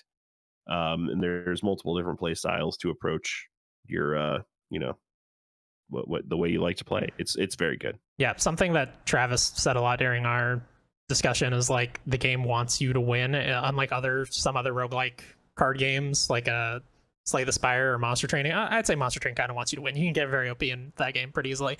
But Slay the Spire like is a good comparison point, and Slay the Spire is very hard, can really crush you if you're not building perfectly. This game really wants you to win. It's pretty easy to make your deck super OP after a couple runs. That's really good to know. I was I've been worried about that specifically going into it is because I playing Slay the Spire, I just got more frustrated than anything. Um, so knowing that, like, it makes me want to jump into it even sooner. Makes me want to go back and play more Monster Train. Monster Train's really good. Yeah, Monster Train's a good I game. know it was on my GOTY last year. Hell yeah. Uh, all right, number we'll be on five. Genetix. Okay, I'm pretty sure it came out this year. Uh, Monster Hunter Rise did, right? hmm Okay, it was like January, right? I think it was Or- March. March. Yeah, it was early. Yeah, I in it It feels like it was so freaking long Yeah. ago, though. A year and a half ago, basically. like I really liked the combat from it. It's uh, probably the best in the series, in my opinion. Which I've been with Monster Hunter for like eons now. Um, it took all of the good stuff from World and then just fleshed it out even more and kind of tried to return to form a little bit more because Worlds feels it's like it's kind of dumbed down Monster Hunter at times. But um, and then like the wire bugs are just like the coolest freaking thing to add to a video game like ever pretty much it added so much mobility and like variety to it it just feels like monster hunter but with like a fresh coat of paint and i'm like looking forward to it coming out on pc and seeing what people can do modding wise and how it looks on pcs and stuff Yeah. What happened? Oh, sorry. Nothing. The the dog. yeah. uh yeah, I I enjoyed what I played in Monster Hunter Rise. I got through like the story and played a little bit beyond that, but I didn't do like everything in the game like I wanted to do and did most of in Monster Hunter World. Uh I think it's it, you know, it's shallow, but it's hard for me to get over the very big visual downgrade from Right. Monster Hunter World. I do think the wire That's bug's super like, cool. main The new thing. move sets you get out of that are super cool, but uh, I still prefer Monster Hunter World. yeah I as well. Um, also mainly because it's on the fucking Switch, and I cannot play the I- Switch for longer than like forty-five minutes, and it's like, yeah that's basically me too that's what i was legitimately saying with metroid dread overall too it's like i am not on board for the switch as much as i used to be like because i'm at home all most of the time so it's like why not just play on the xbox or pc you know Mm-hmm. Yeah, I did enjoy what I played, but yeah, I think Oh, yeah, I, I mean, still prefer super World fun. over Rise. Yeah i mean I, i have the I, I have the argument Monster Hunter. Rise Switch. Like I literally bought that one. right like i like i like them both for their own things overall like Yeah. the main thing for me was like worlds just looks so freaking good that it's Mhm. it's hard to Mm-hmm. Yeah, stomach the food looks so much better in World. Yeah. hungry. Oh yeah, then the gummy whatever you're making, Yeah, I don't care Bunny about that Dango, Rise. right? Yeah. bunny Yeah. dominant. yeah All right, uh, Preston number five. Wildermyth, number five. Hell Mm. yeah, Good choice. Tom number five. Uh, Sword of the Necromancer, which I can't believe that none of you have played. Um, especially while Chris, you played Archvale, and Tyler, you played Archvale. So this has very similar Archvale like vibes to it. You have the same dash like mechanic. You know, you have s- several of those. Um, different weapons, not maybe as broad of a spectrum for the weapons.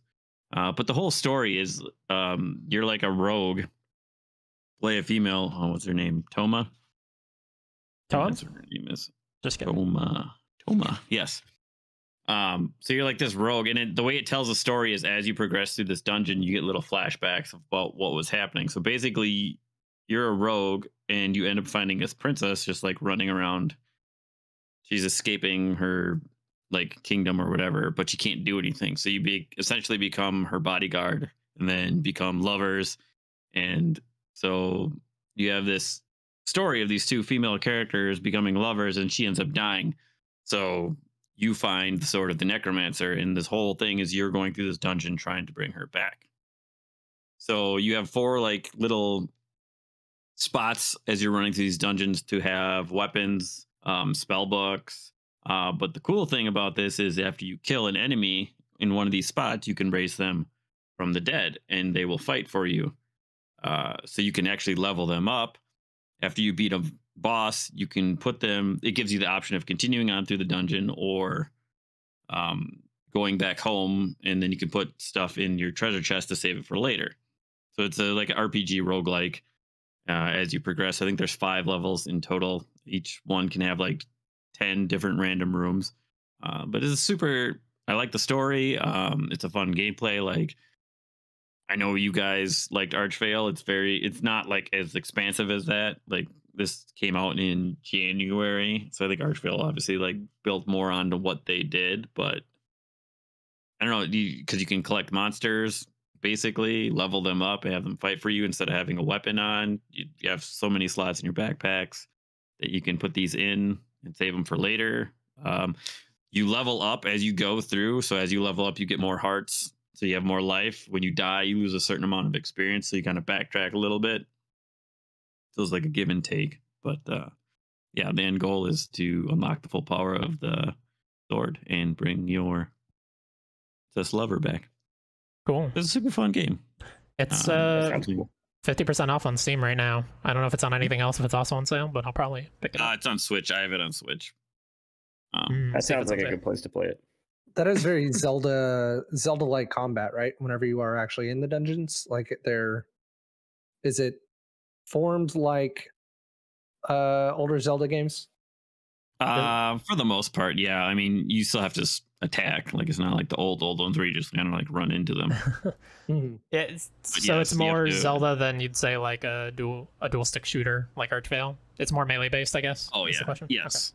I mean, but Okay. you can get um there are spell books that let you have spells. There's spears, there's axes, like so that it's the same similar like structure around how that is. The aiming system isn't the same. Like you don't have the reticle that you could spin around. Yeah. Okay. um, like Archvale is, but yeah, it's more Zelda esque. Cool. But yeah, I don't know. It's a fun game. If you haven't get get it, it's Yeah, It's a it, good loo- time. it looks cool. Every time I hear the name, I just think of end at the Crypt of the- opening. That's super cool. Uh, yeah, the song was also really good from it. Um, Yep. Uh, every time I hear the name, I just think of Crypt of the Necrodancer, which is also a game I Mhm. like, but I, I just just like the two are intrinsically connected in my mind. So I'm like, oh, I've played that. No, I have not. Uh, all right, uh, we are on number five for Ryan. All right, so the top five of my list gets really spicy. Uh, all of these games really threw me back in my seat in a special way, whether it was pausing the game and thinking about what happened or not wanting to put the controller down for as long as physically possible. uh, this is a game I'm sure is on others' lists here, but uh, we're going to talk about it now. Guardians of the Galaxy. Yep, it's on my list. Oh It's on my. It would be on my list if I had played it. I Uh, uh, wanted to get it at one point in time. It went on sale several times for like thirty dollars very quickly, but I threw it on Christmas lists to a bunch of people, so I it, Mm. I haven't gotten it yet. Yeah, I got it on Black Friday sale on Steam, and I Yep. agree wholeheartedly with uh, Tyler here, quoted multiple times as saying, better than it has any right to be. Yep. This Yeah. game hits uh, so hard. The combat feels way better than anything they showed us. Controlling the full team of the Guardians feels really good from the perspective of Star Lord. The story blew me out of my socks. The socks gone, just gone. I need to buy new socks. Mm. All right. It's so it's so good. It's I really I did not expect to enjoy the game anywhere near as much as I did based mm-hmm. off the preview coverage. I, it's it's one of those things where it's just it's worth experiencing yourself. So I don't want to talk too deeply about exactly what went on, but it, it feels really good to play. It makes you feel things in a really good way. It makes you connect with these characters that you already know a lot for the most part. We've all seen at least one of the movies. Well, that's Uh, also one of the things I really like about this is it. So the MCU did a really good job about telling you what these characters basically are. I like how this game goes more into the characters. It has a lot more time to like build and like Mhm. Yeah. You don't like you're basically how Bautista pl- uh, plays Drax. You just like he's got this very like wooden kind of form, and he's you know his humor is just like kind of all over the place. This really gives him more like intellectual, like you're like I like when you Mhm. go in there and he's just got glasses on reading a book. Um, and you have really good conversations with him, like really deep, meaningful conversations where just from the MCU watching the movies, you wouldn't really think that that's something that would come from him. And I think he is probably the biggest surprise in conversation wise. Um, Yeah. I haven't beaten it yet. Like I just haven't had time. Uh, it is still on my list because it does have such a great impact. Um, but uh, character wise, I I feel like he was the biggest or the best like takeaway from that as a character on his own. But they did very very well with all of the characters. And the music is fantastic. Not just the Oh, music they licensed for, Oh, yeah. but Yeah. the actual Everything. Star Lord band music. So good. very good. Talked about it in our Modi, but I was like confusing my coworkers who grew up with music from that era. Like, who who did this? This feels like something that was on the radio when we were oh, like, oh yeah, this is, it's Yeah. very like it could be Dokken, it could be like a mix of Def Leppard and like fucking Winger. Like it's very 80s. Mhm. and and- just the fact that you start off as Star Lord as a kid and he's got the fucking sweetest mullet you've ever seen in your goddamn life. Uh, yeah, this is number one on my list. Uh, and as a- Spoiler. I mean, uh, I mean, it makes sense. the this is uh, the biggest surprise for me just like ryan was saying where going into it i was like it'll be okay it'll be fine and then all the reviews came out and i was like they're all lying. It's not as good as everyone says it is. I don't believe you. I'm not buying this game. And i fought the fomo until it was on sale got it and just burned through it immediately could not put it down. And there's something like the music is fantastic. It is by far my favorite guardians thing uh out of the three right? And having that time with all the different characters did flesh them out. You're absolutely right drax is the standout. One thing my main detractor is star lord himself is kind of obnoxious and whiny at the beginning and i know that's sort of his character but the way that he constantly is just like come on rocket! And he just says that line like a thousand times in this game um but that's the only thing that i walked away from like annoyed with the combat itself feels really good and it's never difficult uh but you can for me what i would do was just try to beat the enemies faster. Like how quickly could i just burn through an encounter? And that was where i would find the complexities within the combat was okay what combinations can i do to just wreck everybody? Um, and it it leans itself in that direction really well and makes it really fun. Like and the world backgrounds like the skyboxes and the level design is spectacular. It is the the the way the worlds look is the way that I wanted No Man's Sky to look whenever it first was supposed to drop that like really the what is it the silver era or the golden era of sci-fi uh where it's just that 1950s aesthetic of insane who thought this up sort of world design. It's so good your dog okay, Tyler? I don't know, man. Don't stop shaking, She's being annoying. He, he Uh, had a sweater on, and now the sweater is off. So she's just like, you see her rolling around on the ground back there. Yeah, she really, she really wanted that off. Fucking Uh, itchy. Yeah, this is this is one that like this is one of the five or so. Oh my gosh. This is one of the five or so that were in contention to like barely get on the list. It barely didn't make my list. I, I like it a lot. I really like the story that they told. Like you guys said, it has it's way better than it has any right to be for sure. Uh, especially, I think it had a really really bad showing at E3. It, it looked pretty terrible. Uh, I like the combat didn't really click for me ever. I think it was it was okay. It was a means to an end, but it never it wasn't like great for me. But I, I can totally see how people can get super into it and love it a lot. And like, there's one moment really late in the game of character writing that I thought was just very sudden and odd and didn't really work for me. And it was a very big important character moment that just didn't land at all. That uh, detracted a Mm. little bit from the experience. But i think i know exactly what you're talking about but yes i want to i really want to ask you after we're done recording i want to know Uh, and I know Tyler also played that and probably has things to say about it. I guess we'll let him say him later when he uh, mentions on his list because he disappeared. Uh, although, wait, isn't he up next? Oh, crap, Tyler. Oh well. I think he has the next one, right? hmm Let's just assume his game is something we never played. No, I'm just kidding. Oh, here he comes. Oh, thank God. I'm sure it's some indie game that. Tyler, you have anything to say about Guardians before we move on? Uh, yeah, it's uh, the best writing in any game this year for me personally. Hmm. Um, I didn't play the Forgotten City, so I don't know about that. but uh, every character is super well developed, and every interaction that you have with them is amazing. It's legitimately a funny game. It made me laugh out loud Mhm. multiple Yeah. times. Um, there's a lot of great reoccurring gags with the fridge, and I think that stuff is great. And it never loses its luster the entire time. And it actually going. has a great payoff too, which is awesome. Mm-hmm. Um, there are so many cool interactions with other characters in that game, and it's just so goofy and uh, different than anything else that I played this year. Um, it's got some really cool set pieces, and you get to do some really cool things with other Marvel characters that I wasn't expecting to see in that game. Um, uh, let's see, combat is great. I mean, we already talked about that. Uh, music is great.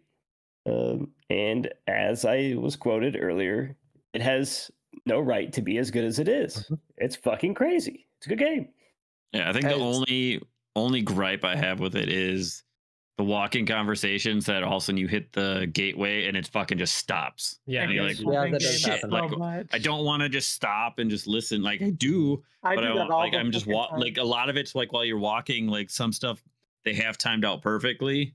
Like they're actually like scenarios where the conversation only happens while you're from here to here and you're walking that way and they know that you know that's how long as it'll take you so you get the whole thing but then there's other parts where you just enter this area and if you're running around or you pop your visor up you may miss something or it'll skip something and you could lose it um and they that's have really so much of it that they don't like. th- A lot of games will come back after an encounter and be like, "What? What were we saying?" And then like oh go yeah back. And Yep. this doesn't have anything like that, where it Yeah. just sort of continues.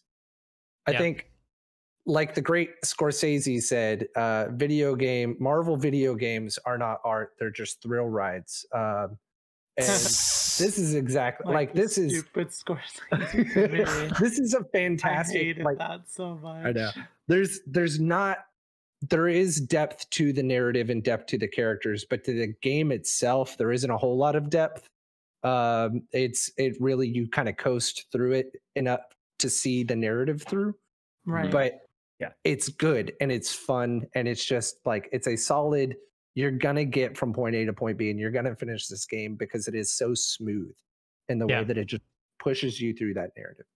and it came out of nowhere they literally announced it like at E3 and like what 3 months later it was out like Yeah. there was no, no That's mention true. of this game before E3 this year and all of a mm-hmm. sudden it was I- just hey here's a guardians of the galaxy guess what it's fucking out in like 3 months and it's I think fantastic my- we would get a lot more recognition for that surprise reveal if the surprise reveal had been good. Yeah. because that is a I really was, I was impressive thing hyped for when I them to saw it just I mean, because of the yeah. music I saw the gameplay and everything, and it looked fine for the most part. I think it's just that face value, you see it, and there's too many comparisons to draw to the Avengers game. yeah Like, i think that was the see, big like, thing They didn't try to sell the narrative or the unique gameplay aspects that the game has as compared to Avengers. They marketed it showing off the stuff that looks like the Avengers game, which got a pretty bad rap. I think it's like okay. It's the well live that single player i thought the single yeah. player for the avengers was great Right. like it's the live and then i just service stopped part that after i gets beat the campaign Yep. Yeah. So it's like marketing it towards that game that got like fives and sixes, and nobody talks about the campaign was actually pretty good. Deters people from thinking, oh, Guardians of the Mhm. Galaxy is actually a good game or whatever. Yeah, what Square Enix's first attempt at Marvel, people did not by and large like. So when they said we're taking another stab at Marvel, it's like, oh, well, you already failed at that. But now, I think now when they reveal another Marvel project, will be people will be more positive, even if it looks like Avengers or whatever, you know, like this game did at launch or at its uh, trailers. Uh, all right, number five, Tyler. My number five was brought up by Tom a minute ago. Archvale. Um, I just played this game here within the last few weeks. Um, it is a top down bullet hell uh crafting fucking uh, Zelda game. I don't even know how to like to describe it. It's so unique where, where you're going around and you're trying to fight off these different undying bosses throughout this world and it's all like bullet hell and you have different kinds of melee weapons and they all have a different range attack to them but you then you can there's crafting elements so as you're going around you're picking up different elements that you can craft new weapons and gear and it's just constantly going around and uh, trying to get to the next area it's like a grid based map you know the, just like old school style zelda games where it's like a grid based and you're just like going from one square to the next to the next to the next to the next and there's always something in each square whether it's uh, enemy encounters or a chest with some gear in it or there are these um, Hyperdot Teleport- challenges. yeah there are teleportation stones that take you into these areas that are basically just like uh tiny versions of like games in hyperdot where like there are certain levels in hyperdot where you have to go and collect an orb if you haven't played hyperdot um, the geometric uh what dodge everything game right? Mhm. that's what charles calls it. Um and you have to go around and collect these different orbs and it's just like a constant challenge where you have like three different difficulties and it gets harder and harder and harder and you're getting these badges because you can equip badges in the game that give you different buffs so you can really tailor how you play the game um, to suit your needs um, there's all kinds of different towns throughout the game and as you find towns they incorporate new items that uh, go into other towns so it's basically like one unit but you're slowly expanding that unit throughout each area That's what she said. um, thank you. And so, like, you go to a town and you have a bank, and you can only hold a thousand coins. You go to the next town, you can hold two thousand, and it just slowly stacks on itself. And uh, it, all your money is kind of held in one area. And I just everything about this game, it all fucking flows and works together in such a great, unique way. And the combat is so fucking good. I love Yeah, it. it's got that frustration level where when you beat it, it's like that Dark Souls where you're like, I Yes. fucking finally did it. Like there's, bullet like, it's not like- God damn it. It's like you know it's you fucking up. Like Right. it's not the and game bullet cheating hell you. is for real. Like there are so many times where like you're in the middle of it and things are flying all over the place, and like the enemy designs are all super unique and different, and the patterns that they shoot out their uh, bullets, and like there's combinations of like melee attacks that turn into bullet attacks. Where like an enemy will run across the screen and they'll hit the wall, but then when they hit the wall, an explosion of bullets will come, and like there'll be ten or twelve different enemies in that room, basically, and you're trying to figure out where their attacks are coming from and what fucking pattern they are using. And uh, when it you get into this rhythm and you're just flowing through these uh, different rooms and like fighting these enemies, and it feels so fucking good, so good. And the bosses are all super fun and unique and challenging, and like legitimately make you have to focus in and zone on in on what you're doing and i just haven't been challenged like that in a game in a very long time since like probably the first time i played dark souls. Um i mean it's just it's super fun and engaging Still, bag of knives is my go-to weapon. I know you guys are talking about other ones, but bag like it's literally a bag of knives. That's the weapon. and It's fucking. and it's you, and you just take and there and there's badges that you can equip that make those bags of knives even better i mean I know. I, I think right now I freeze and poison enemies, um, but I don't have many of the badges yet. But there is a lot of badges that you can get that, like, they're the basic ones where you can get a melee one that boosts your melee. There's a ranged one. There's a spell casting one, and some of those spell casting ones get pretty freaking like ridiculous, like Yeah. the wands and stuff that you get. Yeah. yeah and So, so the, a lot of the late game stuff super bonkers. Uh, I also I beat this game. I liked it a lot. I'm glad Tyler recommended it to me because I definitely want to check it out. Otherwise, uh, it's like it has such a smooth progression that uh makes you want to keep playing. Like just the, the progression of power over the course of the game. Uh, like you have these little like leapfrog moments where it's like, oh my god, I just became so much more powerful with this new weapon I found, this new recipe I fa- I discovered and crafted. Uh, and then you like kick ass in a zone and then you get to a new zone and you're getting your ass kicked again but you find another yeah. new recipe and you make another new weapon and has this great progression until near the end of the game i think like before the second to last or third to last zone i like discovered a really broken build and then you're just god and you murder everything. And that's also super fun after the game has been such a struggle. So uh, i like it a lot too. Didn't Yeah, make it in the top uh, 10 but super fun. And one of the things I also like is the way that the story is presented. So like there was an old king who ruled over this land, basically, and uh, you're finding out the story of this king and what he did to this land and who the Undying are. Like every time you beat a boss, there is a character who is slowly like unfolding this story in front of you. And the whole goal of the game is to get these archstones to create the Archvale, which is a land that you're basically trying to like Moses these fucking people through. And uh, it's just man, it's it's really good. I I can't describe it more. old how man in a barrel. the combat is. Combat is so fun. And frustrating. and frustrating, but in a good way. It's like one of those things where it's like, I know if I would have just done this at this 2nd it, or Mm-hmm. It's uh, like or you if I- know, like as soon as you move down and you get hit, you're like, why the fuck did I do that? yeah, yes. and it's not like a it's not like a one hit kill either. It's like you uh, slowly collect hearts and upgrade your health over time, and can upgrade um, like your flasks basically Mm. that give And you your health back. Yep. And uh, yeah, it just it's great. There are so many perks to this game. I mean, you, what however you want to play it, you can play it, and it's great. I play Played it naked little most of the time.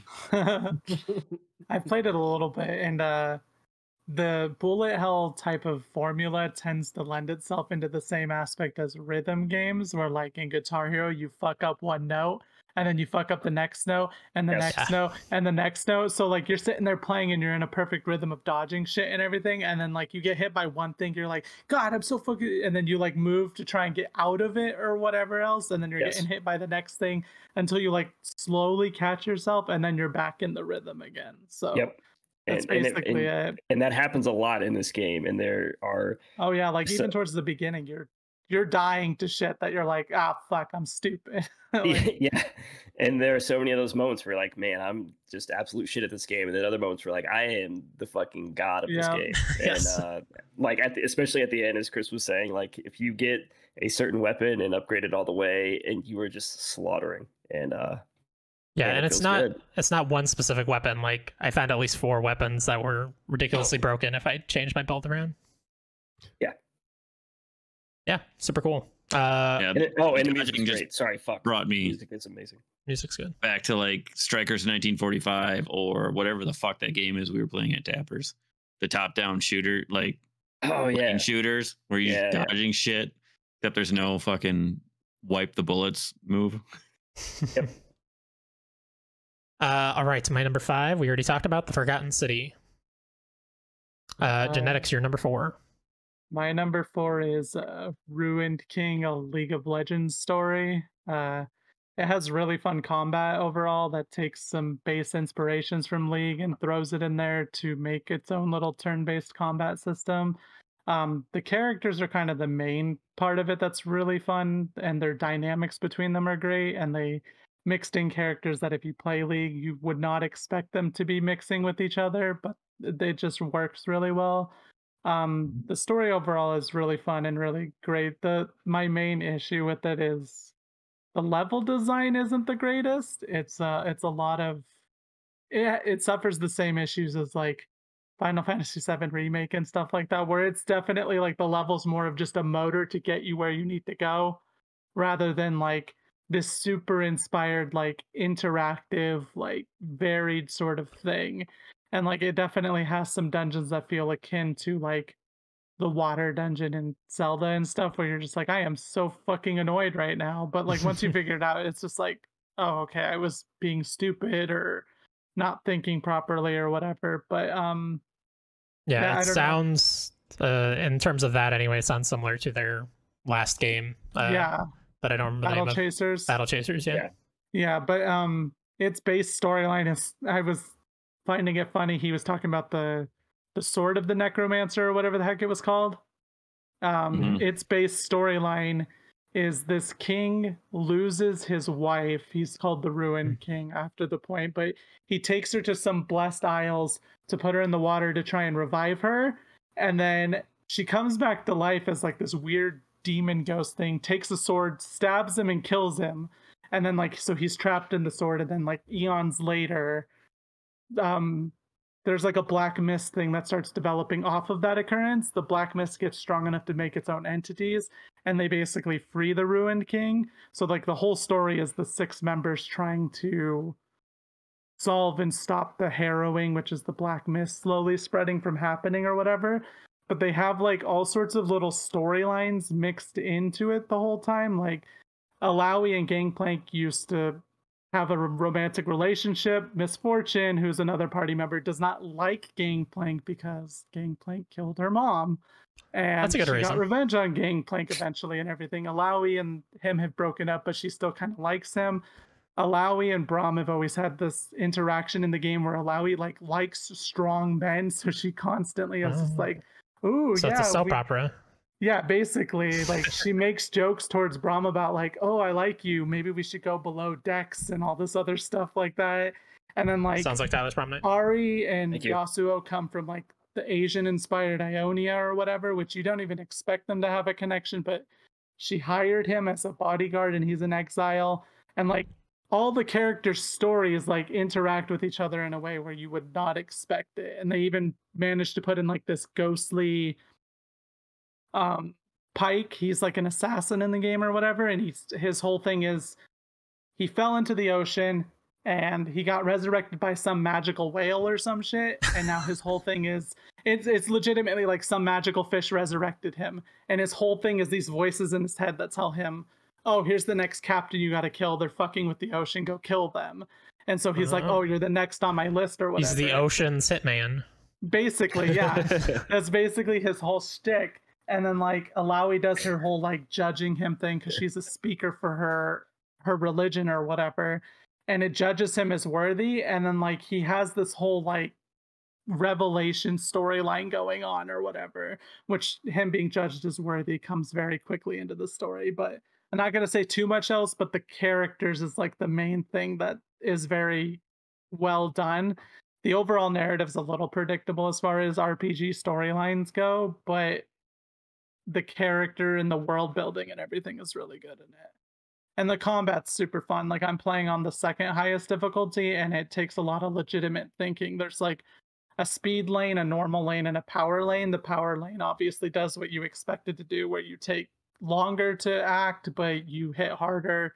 Speed lane is you hit faster but take less time and then like there's all these little zones and weird shit that get put on the map too as far as where your turn is and everything. So you're always constantly thinking about your enemy's speed your speed the speed of the zones like and you can do actions that push your allies forward push them back push enemies forward push enemies back. Like there's just a whole constant little puzzle thing to the combat Yeah. Although you can also play it on a lower difficulty and just spam auto attack and do completely fine. like Yeah, I, I appreciate turn-based RPGs finding ways to make the turn-based combat uh, more intricate and interesting. Uh, I think Shin Megami Tensei and Persona have always done a really great job of that. Last year's Star Renegades did a great job of that, and this sounds kind of similar to that almost.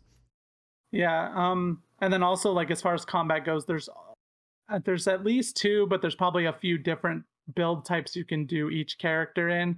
Like you generally want a healer, a tank and an offense person, but like Ahri you can build her as being either a spellcaster, a healer or like crit based auto attacks and like the whole thing is her passive still will automatically heal some people whenever she builds it up and she can get like her auto attacks as she crits builds her passive and like so you could do a whole bunch of different things with the builds and the Illaoi has things where she summons these tentacles that beat the crap out of people so you can get her to be more of a healer through that because they heal as they do damage and you can invest in that or you can invest in her being offense like every character has multiple build paths you can kind of take them through and there's no like penalty to reinvest your points That's good.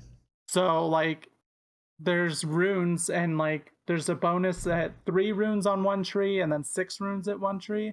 And as soon as you get to the point where you have six runes that you can invest in one, you could just pull out of both trees and then reinvest into just one tree. And there's no penalty for that. That's and cool. it's the same with the ability investments. So it's good, it's fun. It's just I like it. I like League of Legends a lot though. So, but I have seen a lot of people who don't play League, they play Final Fantasy, they've tried this and they liked it a crap ton. So, Awesome. All right. Uh, yeah, I, it's on my to play list eventually, but uh, I'll probably wait for sale. Um, Preston, number four. I want to say that while we were talking, I downloaded Archvale, so I'm on that. Um, It's a good game. Good game. I like it. and uh, but my number four is It Takes Two. Hell yeah. Game is also on my list. Mm-hmm. Yep, that's same. as well. It is. It was. uh My wife and I. We don't play games together. She'll watch me play Telltale style games, help me make choices, but she doesn't play video games.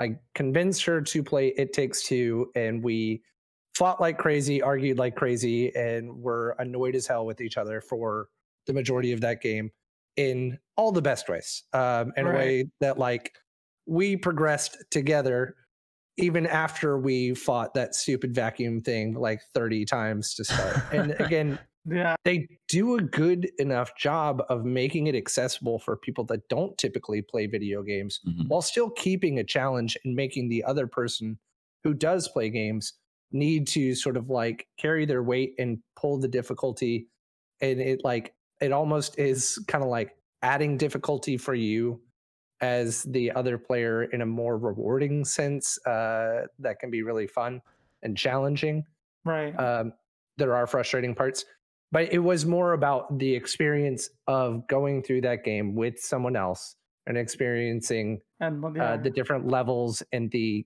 the creativity of the worlds that you end up in and the different mechanics that you go through. Like whenever you get to the Diablo style top down yeah, it was shift. super cool. hmm yeah there's just so many and that's just like one small two hour clip out of this 15 hour game or so Right. that it, it, they constantly change it up in a way that is exciting and fun and keeps everything moving even if the story just like ratchet and clank like i said earlier is very macguffin style like oh you got to hit the next thing and the next thing and then the next thing and it's not really you don't feel like you're progressing the story as you're going through the story in any meaningful sense because there's always going to be that next thing that you're supposed to do and you have no yeah. idea what the Mhm. checklist actually looks like. But Yeah. the gameplay itself is just so damn good and ingenuitive. The best MacGuffin in the game was the freaking elephant thing, though. Yeah, that do was not, so don't, don't, No don't, I'm not gonna spoil. say no anything spoilers. else. I'm not no saying spoilers. anything else, but the elephant thing was the best freaking thing ever. It's, It's like, where the cool. heck is the game going? It was so Yeah. good. Uh, I think by far the best game we have chosen to do wasted. Like all of the games, I think have been super fun wasted. But when Tyler and I played this and did It Takes Brews, I think I had the most fun. Like just doing craziness. I mean, at the one point we were giving each other a golden shower, it's true. Very true. I, uh, and it was liked that lot, hilarious. It was sure. so much fun. Yeah, it's it's an unbelievably amazing game, uh, and like you said, Preston, very accessible. Uh, I ended up playing it with my mom, who has never controlled a 3D camera before, but you get used to it pretty quickly in that game. Uh, it's not too difficult. Some platforming sections are very hard to get used to, but I, I think it's accessible enough. And like you said, it added a little extra difficulty on me, but I think that was fine. Like the amount of variety of gameplay in this game is unbelievable. Yes. Like I've heard some complaints from people that like this game is too long. I don't I don't think so. I didn't feel that at all. 15 hours and it flew by because I only did a mechanic for like an hour, two hours right, maybe before I was doing something They else. don't let any of the mechanics live out past when it's fun or whatever. Mhm. The um well, I played with my girlfriend, but she's pretty good at games overall. Like she plays enough to be decent at it or whatever. But I was sitting there looking and I was like, why the fuck are the female parts like the more difficult platformer based parts when a lot of the people that are playing this are going to be a guy dragging their significant other into it and they're going to want to play as May. So like it's not all of it obviously and there are aspects that are like but it felt like the guy character Cody had like more simplified things to do. there was her. a weird imbalance sort of in the like the uh like the precision that May needed for some yeah of her for a lot of the stuff like things right which it does make sense But- because typically the girl characters are the like nimble like jump around do super precise shit and the guys are just like i'm here to fucking Yeah, hit shit. There's a part there's a part in the first area where you're like throwing as Cody, you're like throwing nails for platforms to move Yeah. platforms around, and then they're doing like a side scroll. May's doing like a side scroll. That took like two hours. it was very hard. yeah But uh, but so I see what you're saying, but I I also felt like you know I had a lot of fun with everything I did as Cody, and I you know I could Yeah. do another run as May just to try her stuff out too, Yeah. and I think Yeah. I know. Tyler and I talked about that too about playing And it another thing, and switching. but- yeah, another thing that I really liked is all the. They didn't even need to put this shit in there, but all the stupid freaking mini games. Like there's chess just flat out Oh, in they're here. so fun. There's like random Yes. little shooting mini games and like whack a mole and like all sorts of stupid crap where you're versing each other. And it's just like that you didn't need to put that in there, but you did. And then also as you're going through the world, there's so many like random little like interactable like you earn a trophy for doing it, but they don't tell you how to Mhm. do it. Like the the ice level is like gathering the seven little ducklings or four ducklings or whatever Oh, to their mom or some shit like that. Like and you don't even know it's a thing, but you're just like, I feel like this might interact with that, so I'm gonna go ahead and try that, and then suddenly you get a trophy for it, and you're like, well, that was cool. yeah. Destroying the wooden toy town with the fucking Yeah. ball. Yes, that was super fun. and then also just like a random side note I have on here for it is um it getting ga- the game of the year for the game awards a lot of people were arguing like oh i've never even heard of it blah blah blah whatever. It's like you look there's articles about it selling 3 million copies. The thing is 3 million copies means that 6 million people have played it because it, you can play for free with just one person buying it. Mhm. and then like as of a month and a half or whatever it hit game pass which means even more people are fucking playing it at this point there is no way in hell that it's not at least at like 6 million if not 9 million whatever amount of people playing it there's no way this game doesn't have the hype to it to be the game of the year like Yeah. I, Just we were we were all very excited on the that recording too. when it was game of the year. because I was expecting it to just be Deathloop, which honestly does not pull me in at all. And I was just like, oh, Yeah. oh, it's going to be another Last of Us 2. But thankfully, their awards as a whole were very sporadically spaced out and like not all just death loop, death loop, death loop. but yeah, that's all. Like, it's Yeah. just a random side note I had here because I just found it funny how people couldn't do the basic math and research. Like, one minute of research oh, you can play for free with your friend. It house co- couch co-op. You have to play it co-op. So if it sells three million, at least Yeah. six million people are playing it. Well, not exactly, obviously, because both of them could have bought it, but it's close, Well, probably. Yeah. Not if you're Mr. Marvel. He, he played that game solo. I don't know if he ever finished, but he attempted to play some of that game solo at Oh, yeah. least. Uh, It was very weird. finish? I don't know. I feel like I would try to attempt something like that just because it's It was so very funny. Um, but yeah, like the like the fact that everything in this game feels so good is uh, amazing. Like I mean, there's some games that have one mechanic and it. That mechanic's like eh, it was fine, but oh, maybe a little jank. And like the fact that this game, it is EA published, but it feels indie. I don't think that team is owned by EA. It's like their indie publishing branch. EA's indie publishing Yeah. branch. Uh, Yep. like the fact that everything in this game with as much gameplay variety as it has feels amazing. It is like far and away the best 3D platformer of the year, and it's not just the 3D platformer; it has so much more going on. Yeah. yeah, it's uh, one of my favorite games of the year. Um, it's pretty high up on my list. Uh, the only thing that detracts it from me is I hate the main characters. I think they both super fucking suck. Oh, they're I just- horrible parents. and I think mean, it's not just the parenting. That's parenting. kind I of the point, though. It's like at the beginning, you're meant to hate terrible. them. It's like Yeah, as much yeah, a I know, journey but it of never got them better. reconnecting. Yeah, I never.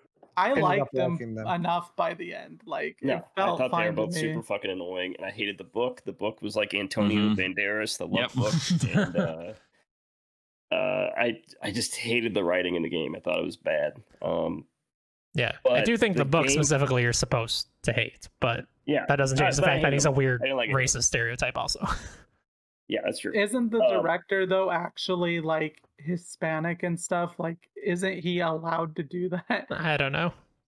I don't know how that works. I've been still making Um, the the book of love, uh, like a the sexy Italian man. I don't know. It's still it's a, a very much a stereotype that they didn't break away from it anyway. But Hmm. Um, but the the gameplay, I mean, everybody said it is incredible. It's variety galore. You know, you never get tired of what you're doing because it's going to be changing up uh, the next minute.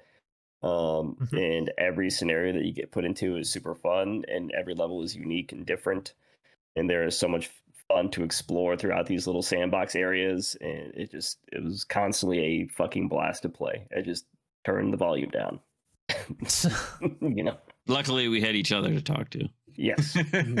there is. I mean, good, it's it's the best co-op game. you I've say ever turn the played. volume down, but there is good music in that game. You brought a track from that game. Turn turn the uh, voice acting down.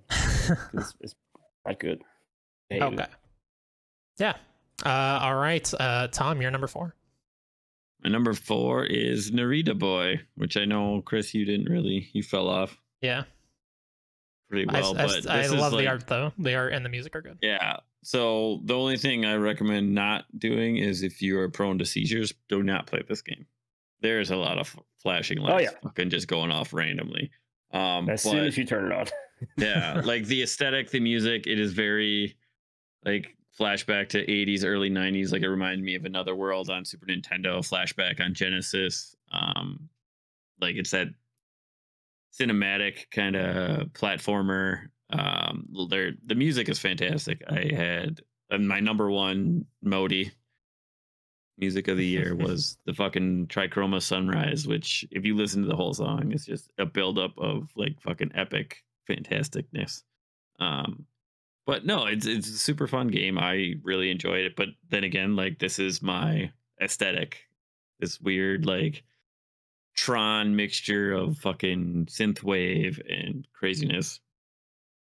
The you get the sword, uh, it can turn into a fucking shotgun, a laser beam. You ride this crazy motherfucking like horse deer thing for a while. Like it's just madness. And what I don't think it's on Game Pass. I think I bought it for twenty dollars. It is on Game Pass. It is on Game Pass. Yes, I that's can where I play it. it. It's fun. Uh, Cool. That's all I need to tell you. Is it's fun, and if you like synthwave and vaporwave, like they had the nice little vaporwave screen in where it's just got the Oh, yeah. Mm-hmm. VHS like signature and everything. It's just it's fantastic, and you find out about like you go into this realm and you have to help motherboard who is basically like what the spiritual leader of this place and you find these flashbacks of the creator who was the guy that like made this world and you go into these little different areas and you get a little more tidbit about his life and like what he went through and it, it's just really cool And like his childhood and stuff. yep and it's very Yeah. cool the way that it just goes about it it's got some cool puzzles in it and yeah it's just a lot of fun Awesome. narita boy Shit. All right. Uh, Ryan, you're number four. All right, my number four uh, is a re-release for this year, but I never played it originally. The first time I came to this game was this year. It is the absolute epitome in my mind in video games of uh, character study and world building. This is Disco Elysium Final Cut. Uh, I don't know if anyone else played this this year. I did a whole Spoilunker cast I with did. the. I I played it. i Oh, bought it and tried to play it but i don't have the time That's fair. Uh, there's a lot to sink your teeth into in I actually game. own it on steam and on fucking playstation now yeah this uh this may even be objectively a better game than other games I have ranked higher. Like if we were making a collective Spelunkers top 10 list, I would fight for this game higher than a number 4 spot. I just had maybe more fun and a more round experience in other games than I did in Mhm. Disco Elysium, but there's no denying how much this game affected me, how much this game made me think in so many different facets about so many different things. It's extremely good the world they place you in is the most fleshed out world I can think of from any piece of media. Um, like the fact that I was able to have like a 10 minute conversation about this specific model of police car that I that my partner drove into town just like tickled me pink. It was so good. Uh, I it, there's not a lot to say without spoiling things, and this game is absolutely one you want to experience for yourself. The revelations to be had are numerous and well worth your time. Um, and I think the full voice acting with the final cut Mhm. really is just what you need with this game. There's a lot of words, but the voice acting is just the best voice acting. It's so good. It's it's extremely well done voice acting. All the actors do a phenomenal job. Um, is it and- better and the- than my wildermyth voice acting No way. It's a impossible. on par, on par with. Uh, High Uh, and- praise. and the writing is just so well done. It's I- it, it- I have heard a lot about that game, but I have also it goes to a note we've already mentioned a few times. I hear it exemplifies the issue that is the Switch and ports to the Switch. Uh, I didn't play it on Oh, Switch. I played it on PC. So Same. I uh, okay, yeah, like I can't most people anything probably have. part. But yeah, I, but on I heard PlayStation. people played it. I on would not even want to try this on Switch. Mm. I heard it's like okay, but it has a lot of weird laggy moments and like it's not the best optimized for the Yeah, I mean, also which- playing in handheld seems terrible because there's a lot of text. Yeah.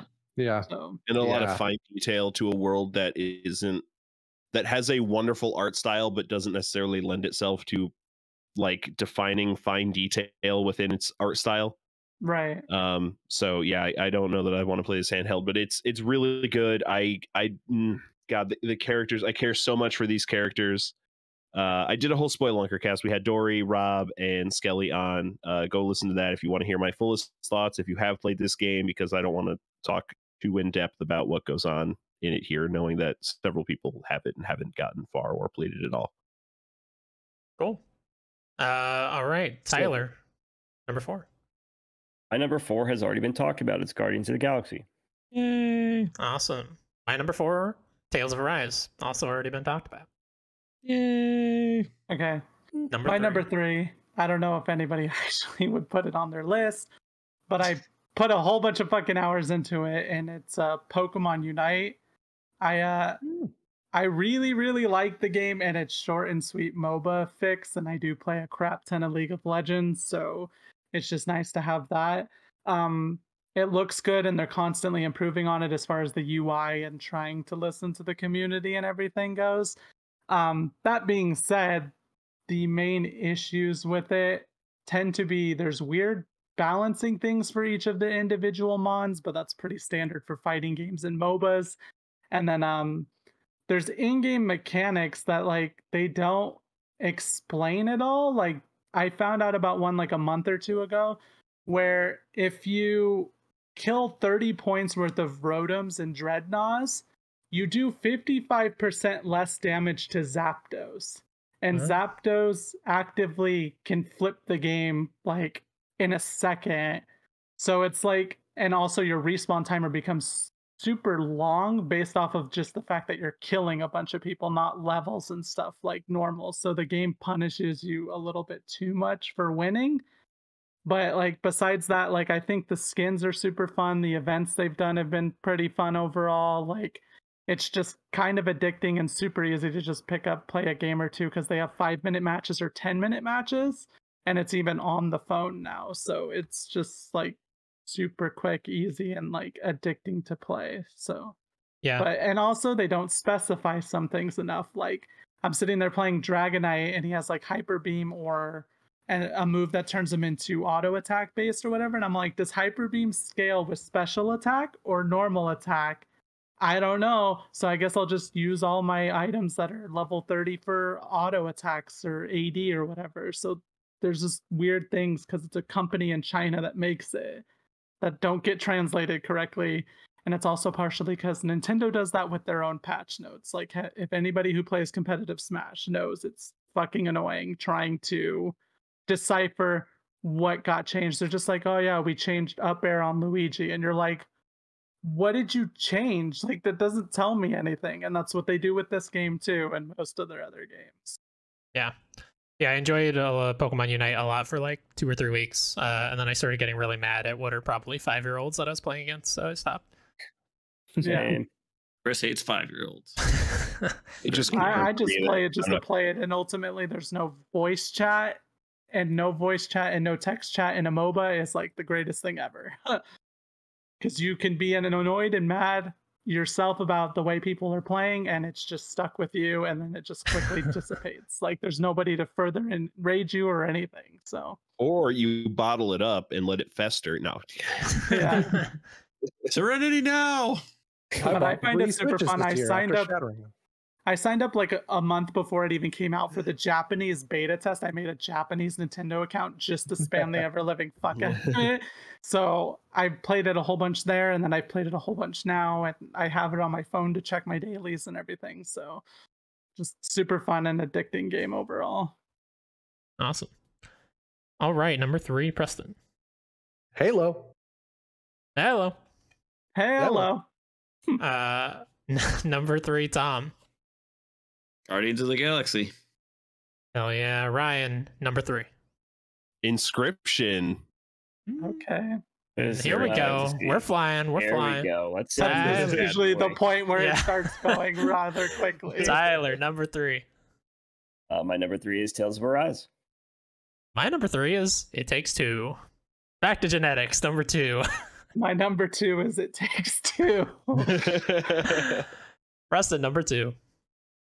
My number two, let's grind this bad boy to a halt. Uh, it is uh, it is a very, very quick game, and I'll be very quick in my discussion because you can't really talk about it. Is uh, it's called Before Your Eyes. Um, Oh, Oh, yeah. It that's the one where you blink, right? Yeah, Yes. so Yeah. you you will be there for an hour and a half to two hours. It is a very short experience where the gameplay you are wa- looking through the eyes of the main character as they progress uh, through the story, and the scenes happen. If you blink, it moves on to the next scene in certain sections.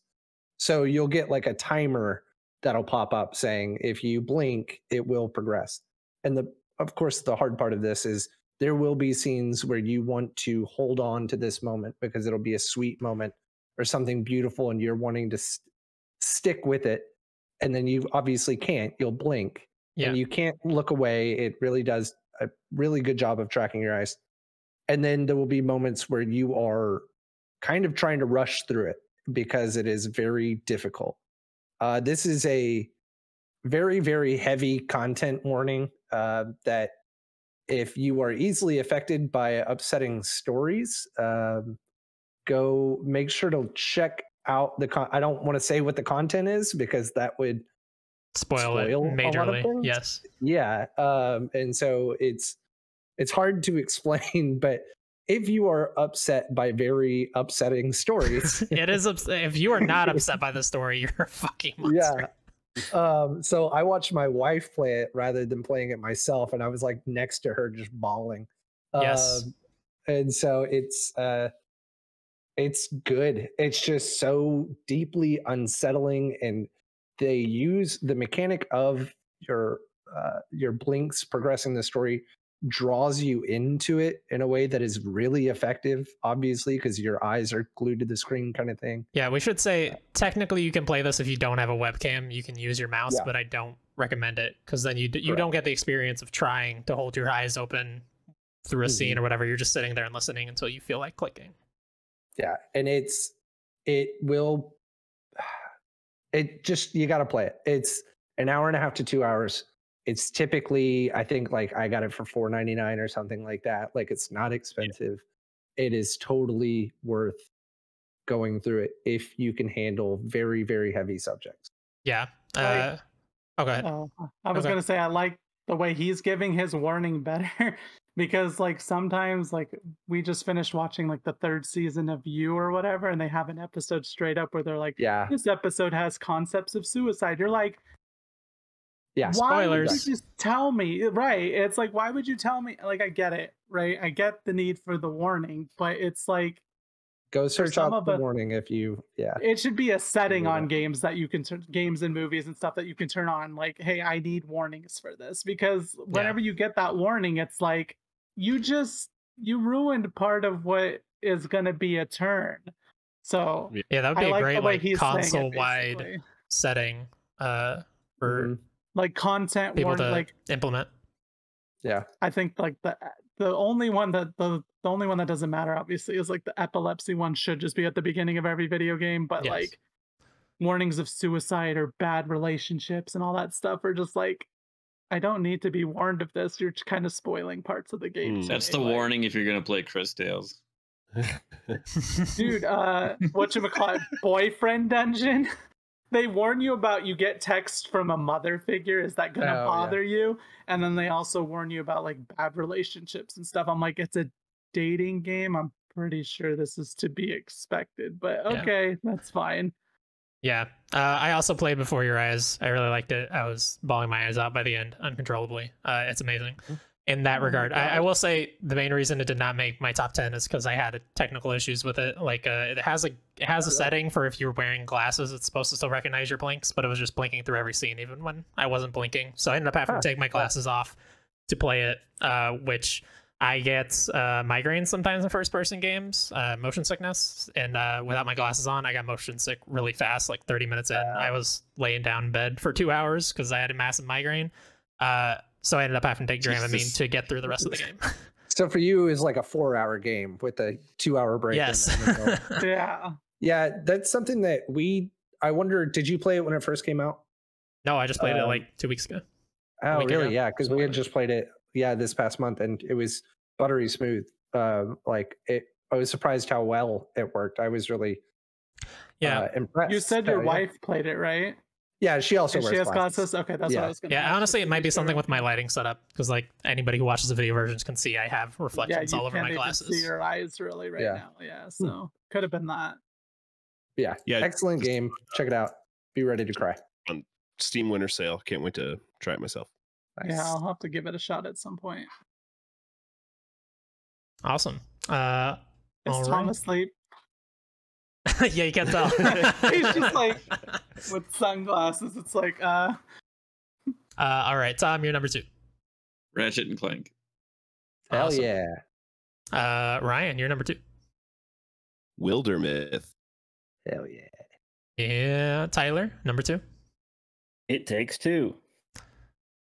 Uh, my number two Did you do that on purpose? Just because it was two? Nope, that's just where No, it landed. it's- was was Villager number eight too? I don't remember. Uh, actually, was it? it might have been. uh, no. was Metroid your number five? No, I'm just kidding. Um, my number Oh, two was not a good game. wow, damn. Uh, oh yeah, I know where number one is. We have at least one talker left. Uh, number two is uh, Resident Evil Village for me. Uh, Number Genetix one. number one.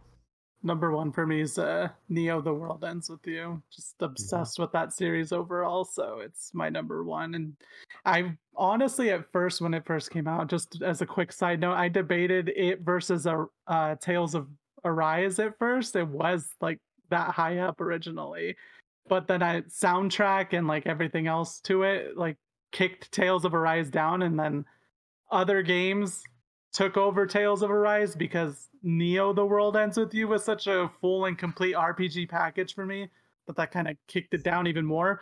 Which Tales of Arise being as good as it is, kicked Scarlet Nexus like all the way the fuck out of the list and probably down to like top 20, maybe top 25 at best or something. So this year's just been really good as far as RPG type Great stuff goes. RPGs. Yeah, awesome. All right, you're number one, Preston. Uh, I'm gonna. I'm saying it here. I'm coining it. Uh, Garg. Uh, it's, Is it? Got got Guardian- it. Of the Galaxy. Got it. uh, Oh, Garg. Garg. Got it. I oh yeah. you What said break it, I like that. Fucking- Number He one. said that Garg. earlier. He Yeah. said that earlier. Guardians What? of the Yep. Galaxy. Oh, I said it. Yeah, Yeah. yeah, you're right. Yeah. Spoiler. Uh, Dom, number one. It takes two. Hell yeah. Ryan, number one. Screeching Halt, my number one. Technically last year, but came out after we recorded GOTY Talk. oh, so technically it counts. Omori. Uh, yeah. Ah, The way I do my rankings, I didn't bring that here, but it is number one in honorable mentions because it's one of my favorite games of all time now. It would have been number one if I considered it for this year. same. I don't think another game in 2021 was as fun to play and left as much of an impact on me it, at the same time. Uh, the gameplay is great. It is a very, very good JRPG, just a classic turn based RPG system. Uh, the characters are phenomenal, and the story that game sets out to tell is uh, beyond impactful.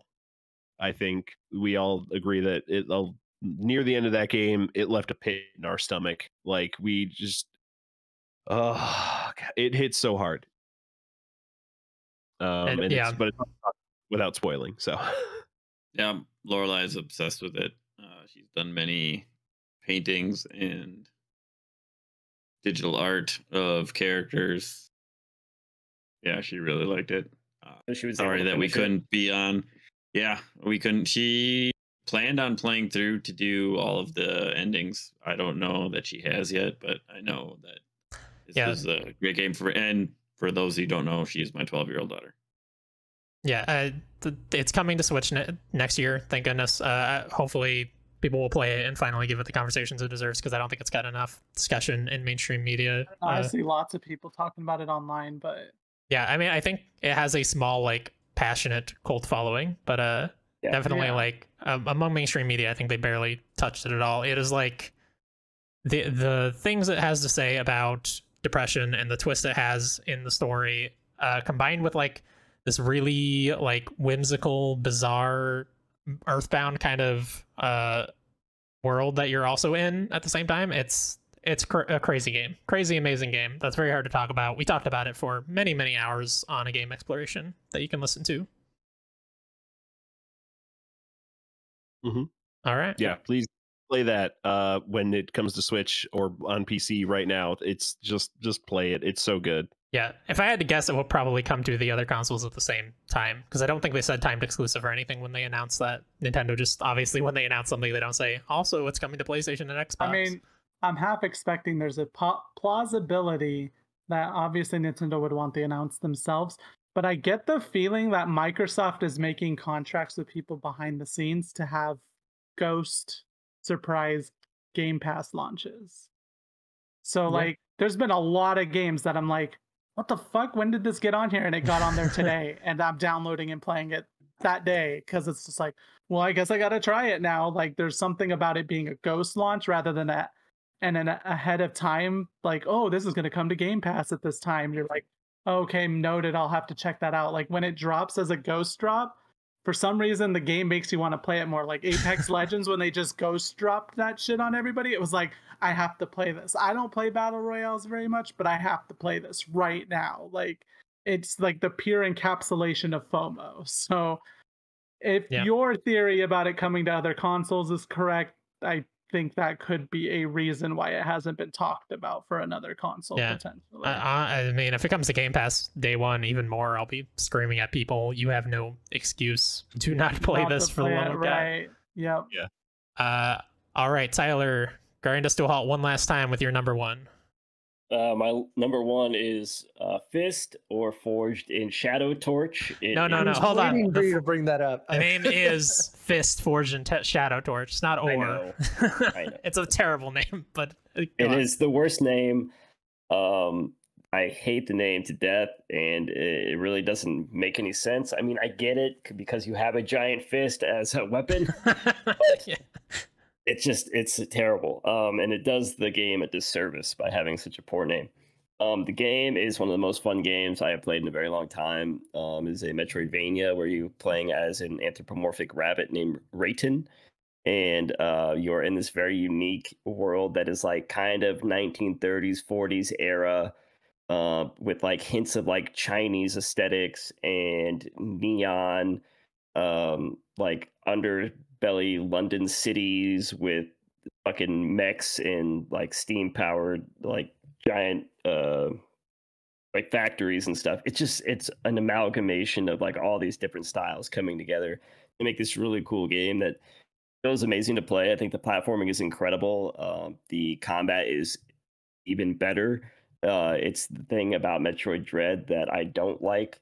Uh, or it takes the place of the thing in Metroid Dread that I don't like, which is the combat feels very stale in that game. Where this feels almost like a um, a like 2D fighter in a way because you can string all these combos together and create like a very unique play style um, because you have like three different attachments for your arm you have an like a regular fist you have like a propeller and then uh, another thing that you get later on that is very cool that i used until the end of the game um, i don't want to say what it is but uh, you get all these different upgrades. It's very Metroidvania, um, going back and forth, trying to find different things, the hidden objects as you get new weapons and upgrades.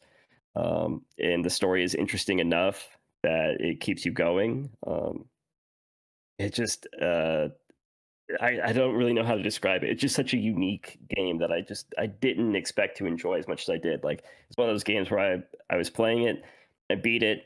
It's like ah, well, I'm a couple of trophies away from the platinum. I'll I'll I'll try to get the platinum. And I played for another few hours, and then another few hours, and I just kept playing and playing and playing because it was like I was just obsessed with tra- traversing that world and doing the combat and stuff. It just uh, it's great. It's a really good time. Cool. Does it have a parry? It what? Does it have a parry? It does have a parry. Okay, good. It is a um, it's an unlock, and it's it's really weird because like you find these things and you can miss them. I'm pretty sure. Um, that kind of change up. Like you have a drone that you can get at some point. Um, there is a parry. There is like health flasks that you can use as well. Um, and you are slowly accruing like coins to unlock uh, different abilities and combos and stuff like that. And the way that you can extend some of these combos, like within the combat, is fucking ridiculous. There is a trophy for doing the training, and you have to do like expert level training and finish it off. And the combo string that you have to put together is like across the screen to finish it. And you're constantly switching back and forth between uh, different forms of your fist and like how you have to use the combos and stuff. And it gets so intense and crazy. It and then like kind of like a Devil May Cry Five sort of shit. Yeah, and and that's what you're doing, and then like you start to memorize some of these combos, and you take it into combat, and you're just like wiping the floor with people, and um, it just it's a really great time, great game. Yeah, I had a great uh, time.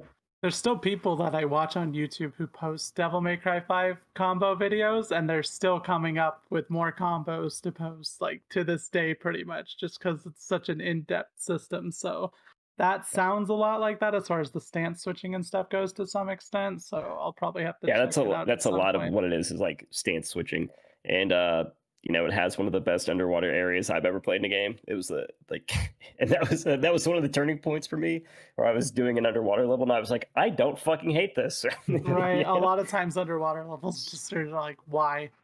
Yeah, why and, uh, I don't I, about enjoyed it. Like Monster it was a very cool 3. setting, and the traversal was great. And uh, man, I I don't know. It's just one of those games that like really hit me. I fucking stuck with me. So. Okay. It's- Um. Oh, sorry. Go ahead. I was just saying, it's really good to know that uh, like a, a good Metroidvania came out this year. You know, like it- Yes, I should check I it know. out. And, and know what's even worse about it though is like nobody really talks about it because there's some other Yeah. one that's like not that great that people somehow like. And I Terrible care. underwater levels. Terrible Yeah. underwater levels. What? Metroid Dread has a great underwater level. The map Uh, is terrible. Oh my god, you're trash. Sorry. Uh, so, in, uh, uh, potentially spoilers for Fist. Do you ever take your big fist and uh, fist the pig's asshole like Bloodborne? Because I mean that's Uh, goading you- material. You do not. No, there's actually no fisting going on in that game. Uh, but the story is actually really cool, and like the enemies that you fight are very cool, and they change up a lot. Like at one point, you're fighting like these crazy fucking ninja frogs, and they come out of nowhere. But like they add a really unique um, combat uh, variety that I wasn't expecting, and then it just constantly changes as like new enemy types are introduced. Like you're just changing up how you play. It's uh, great. Keeps you on your toes. I cannot overstate how good traversal is in that game. It just feels great to move around. Cool.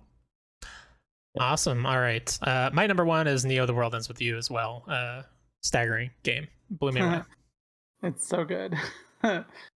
and then, do you have other lists, or are we doing honorable mentions? Uh, we will do honorable mentions, but don't like talk in depth about your honorable mentions because we Oh, are almost at four to. hours. I'm not going to. I'm just. uh, so who do I say yeah, mine go, go ahead, Genetix. something? Yeah. Well, I have games that I played that almost made it. Um, Monster Hunter Stories 2, Loop Hero, Nickelodeon All Stars Brawl, Pokemon Snap, and then NieR Reincarnation. I think is the one that Mm. came out this year. That replicant, The whole number. Oh, number. Replicant. Uh, Reincarnation is the phone game. I meant Replicant. yeah, replicant. Um, yeah, that, but that I also sort of didn't count because it's like a remake Yeah. sort of thing. It's a weird thing. I don't know, whatever.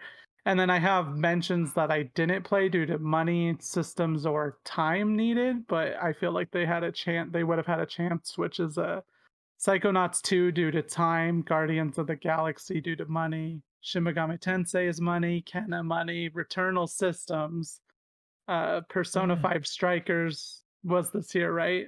Yes, Yes. in Okay. February. Yeah, it Money. was. Wow. Yeah. Money, Guilty Gear Strive, money, Death Store money, Samurai Warriors 5, money. So Yeah, it sucks to be broke, man. Uh, that's why we all subscribe to Game Pass. It's true. uh, yeah, uh, real quick, Ryan, you didn't have Loop Hero on your list? Just barely didn't make That's it. If, if. I was a little Crazy. strict with the list, uh, Omori wouldn't have been on there, and Loop Hero would have been. Okay. Uh, Preston, you have any honorable mentions you want to shout out? do. Uh, so in order, Life is Strange, True Colors, Returnal, Moonglow Bay, Oh, Moonglow Bay was cool. uh, Knockout City, Valheim, Fallen Order Series X update. I'm gonna, uh, I- I'll allow it. Uh, and then uh, Pathfinder: Wrath of the Righteous would have, if I put any more time into it, it would have been easily in my top five. I just, I've o- I've only seen like the first tenth of that hundred hour game, you know, so Right. I can't really make a call on it, but I know it's gonna be fucking fantastic. Cool. Uh, Tom, you got any honorable mentions? Uh, Scarlet Nexus was close. I really enjoyed that game. Uh, Garden Story almost made it. Cool. That much. Um, Like I, I had mentioned Scarlet Nexus 2, it got kind of pushed out by some other things, but the combat in that is really good. East yeah, if you play that, pick the lady character though. Apparently, Yeah, pick the lady character because the guy's story is very. I hated the, Butcher, ga- the game like- story because I played the guy. I don't know. I played the female and the story felt fine to me. So All right. yeah, Ys was the other one. Yeah. Yeah. Oh yeah. Uh, uh, yeah, Ys Nine was fun. Uh, great music. We we talked a lot about the music last week. You should listen to that podcast if you haven't. Uh, Ryan, honorable mentions. Uh, yeah, Ys Nine also on my honorable mentions. I know there were a lot of great RPGs. I didn't play a lot of the best ones, so that one's was uh, high on my list. Voice of Cards probably the most quality of life I've played in turn-based RPG in a long ass time. Uh, Back 4 Blood, I can't believe this is the first we've talked Oh. about that game. Uh, super fun. Just, I mean, it's Left 4 Dead, so it didn't do enough different to really crack the top ten for me. But damn, it is a very good time. Uh, like Loop Hero, of course. My problem, my biggest problem with Loop Hero is I put a shitload of time into that game and did not get far at all. It has a very addictive loop, but I couldn't quite click as hard as, as it was some people. Uh, and very late contender for me. Just found out about this. It's been in uh, early access for a long time, but it did release this year. Pulsar Lost Colony. Uh, if you've ever wondered what it's what it would be like to run a Star Trek ship with four of your friends, uh, Pulsar. interesting. Cool. Uh, Tyler, honorable mentions. Uh, I just have Ys Nine and Outriders because I feel like I had a good time playing Outriders co-op Actually, I also, uh, Ghost of. Tsushima. Oh yeah, the Yeah. DLC for that. and Ghost of Tsushima Iki Island expansion was also pretty great. Yeah.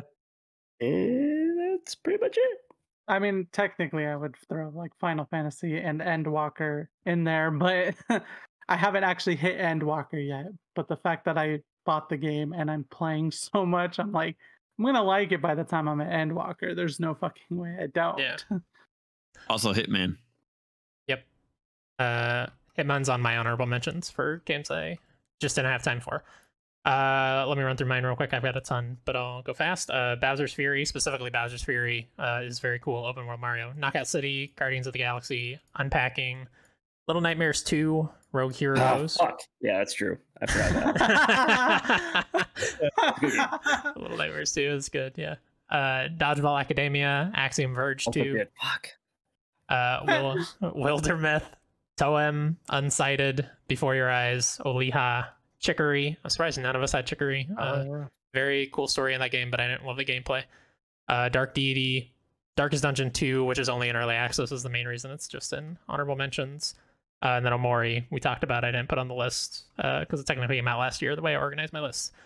uh, and then ones that I just didn't have time for. Uh, Hitman 3, Persona 5 Strikers, Disco Elysium Final Cut, Monster Hunter Stories 2, Orcs Must Die 3, Tormented Souls, which is like a Resident Evil kind of like like early Resident Evil style game that came out this year. That looks really cool. Uh, Lost Judgment, Gloomhaven got a like digital version this year, the board game, uh, which seems really cool. SMT5, Ender Lilies, Sky Children of the Light, Grime, Fist, Moonglow Bay, Demon Turf, and uh, Ruined King, a League of Legends story. Uh, I, I've got a dishonorable mentions list, but I just won't read it because somebody's favorite game is in here, I'm sure. so I won't bother saying them. Yeah. Cris Tales, though. Um, that's it. Ryan's favorite game. um, but also just a quick cap off note on my part or whatever. Uh, just as far as people's perceptions of the year for gaming, this perception people have that it's been a dry year to me is like a load of fucking bullshit. I had a way harder time coming up with a list here. And I Mm. last year I had money for all the games I wanted. This year I did not have money for all the fucking games I wanted. You know, like I think it's a load of crap. And him, uh, Tyler, even freaking out about, oh shit, Little Nightmares. Oh shit, Yeah, I yeah. forgot Dodgeball Academy. Like there was a lot going on this year, and I think it's ludicrous that people thought it's a dry year. Like Also, Greak. I forgot to mention Greak. Greak is also a good game. Yeah, totally agree. Uh, It yeah, was a great year for indies, RPGs. It, you know, it wasn't a great year for the blockbuster shooters, but even then, we still got some really great ones. Like, right. so I, I don't know where that's coming from. I don't know where it's coming from either. I think it's just people that are like, it's probably just all the Sony heads, honestly. yeah. I mean, this is maybe the first year that I have not had like a first party Sony game on my top 10 list. So Yeah. maybe that's right. it. So it's probably I think 'cause most of my list was Horizon um, indie games. Mhm. Yeah. Uh, but yeah, I, I agree. Amazing year in games. I think last year was also pretty great in games, but uh, this year was superb, and next year looks also amazing. Um, games are good. games are good. Turns out, uh, shocking, shocking revelation here on the podcast. All right, let's uh, let's find something to talk about for four more hours because this podcast isn't long enough yet. No, uh, let's do some plugs. VictorianGenetix. You have anything to plug? Uh, not really. Just the usual stuff. It, I haven't put content out yet, but I just got a new PC. What is happening to new your face, PC, Preston? so Eventually, I'll probably start putting something out. I just need to find the time and everything to want to do it. But it's just VictorianGenetix on everything. Cool. Uh, Preston, you got anything you want to plug? I'm part of a little podcast called Level Zero, where we talk about the history of games or interview uh, the developers of the games we love. With Greg Griffith as my co-host, uh, we are going to be coming back in early 2022. Yeah, that's the next year. Uh, with history of Halo uh, Combat Evolved, the first game specifically, with an interview from someone from Bungie, um, and so that's really exciting. Super Wow. pumped for that Well, and cool. we should be getting some in detail uh the streaming show where i interview developers of indie games should be coming back with some really strong names as well um probably in january as well i don't have anything set in stone but we have people that have agreed to be on the show we just haven't fully set the schedule Awesome. Yeah. Shout out to uh, Greg Griffith who did our outro music that we still use. Yeah. Uh, Tom, anything you want to plug? Tyler's prom night. You. Appreciate you. Don't take a shot every time he mentions prom night. yeah, don't play that drinking game. Uh, Ryan, you got anything you want to play? Uh, check out the Spelunkers Twitch channel, twitch.tv slash Spelunkers. We got a lot of streams, a lot of nights of the week. Uh, Pokemon on Tuesdays, Resident Evil on Wednesdays. We recently finished Resident Evil 6. It was a very good time. I, I may say the best Resident Evil game. Call me crazy. Uh, Crazy. You're crazy. to be fair, I've only it's played five, six. fantastic So Uh, yeah. Uh, last call. Well, not last call. Wasted typically on Saturdays, although that's going to be on hiatus for a little while. But that's always a fun time, and uh, usually something co-op on Sundays. Maybe I'll wrangle Chris in for some more Aragami soon. Maybe. Uh, Tyler, what do you want to plug? Uh, just uh, stay tuned to Spelunkers YouTube and podcast channel. Uh, I'm going to be taking uh, some time off here next week. I will be out for at least a month. Um, so, you know, just stay tuned for whatever Chris, Ryan, and Tom cook up because it's going to be good stuff in, uh, until I get back. yeah, uh, I guess I'll plug our show that will still be going on. Uh, I guess starting like midway through January next year. Uh, gotta rank them all. We'll probably put the game exploration show on hold until uh, Tyler's ready to record again. And, and I know Tom's schedule is crazy, but hopefully we can get him back on for some more episodes. But yeah, I gotta rank them all. We'll be coming back in like mid January is when the first episode will probably release. Uh, where we rank every Pokemon ever. We're at like 700 now or something. It's absurd and impossible, but a lot of fun to just talk about these Pokemon, how shitty or great they are. uh, yeah, that's it for the podcast. Uh, thanks everybody for joining us. Uh, it was a great time, and it was only four hours long, so you know, perfectly reasonable podcast length. Totally. But to be up in five hours to go back to work. Nice. I'm off Same. tomorrow. I actually have to be up in Off four tomorrow. hours. nice. But don't worry, I only worked four days and have That's why he's trying to get us the podcast for another four hours because at this point Yeah, you might as well just stay I'll up. just get ready for work. Yeah. Thanks everybody. Bye. Bye. Bye.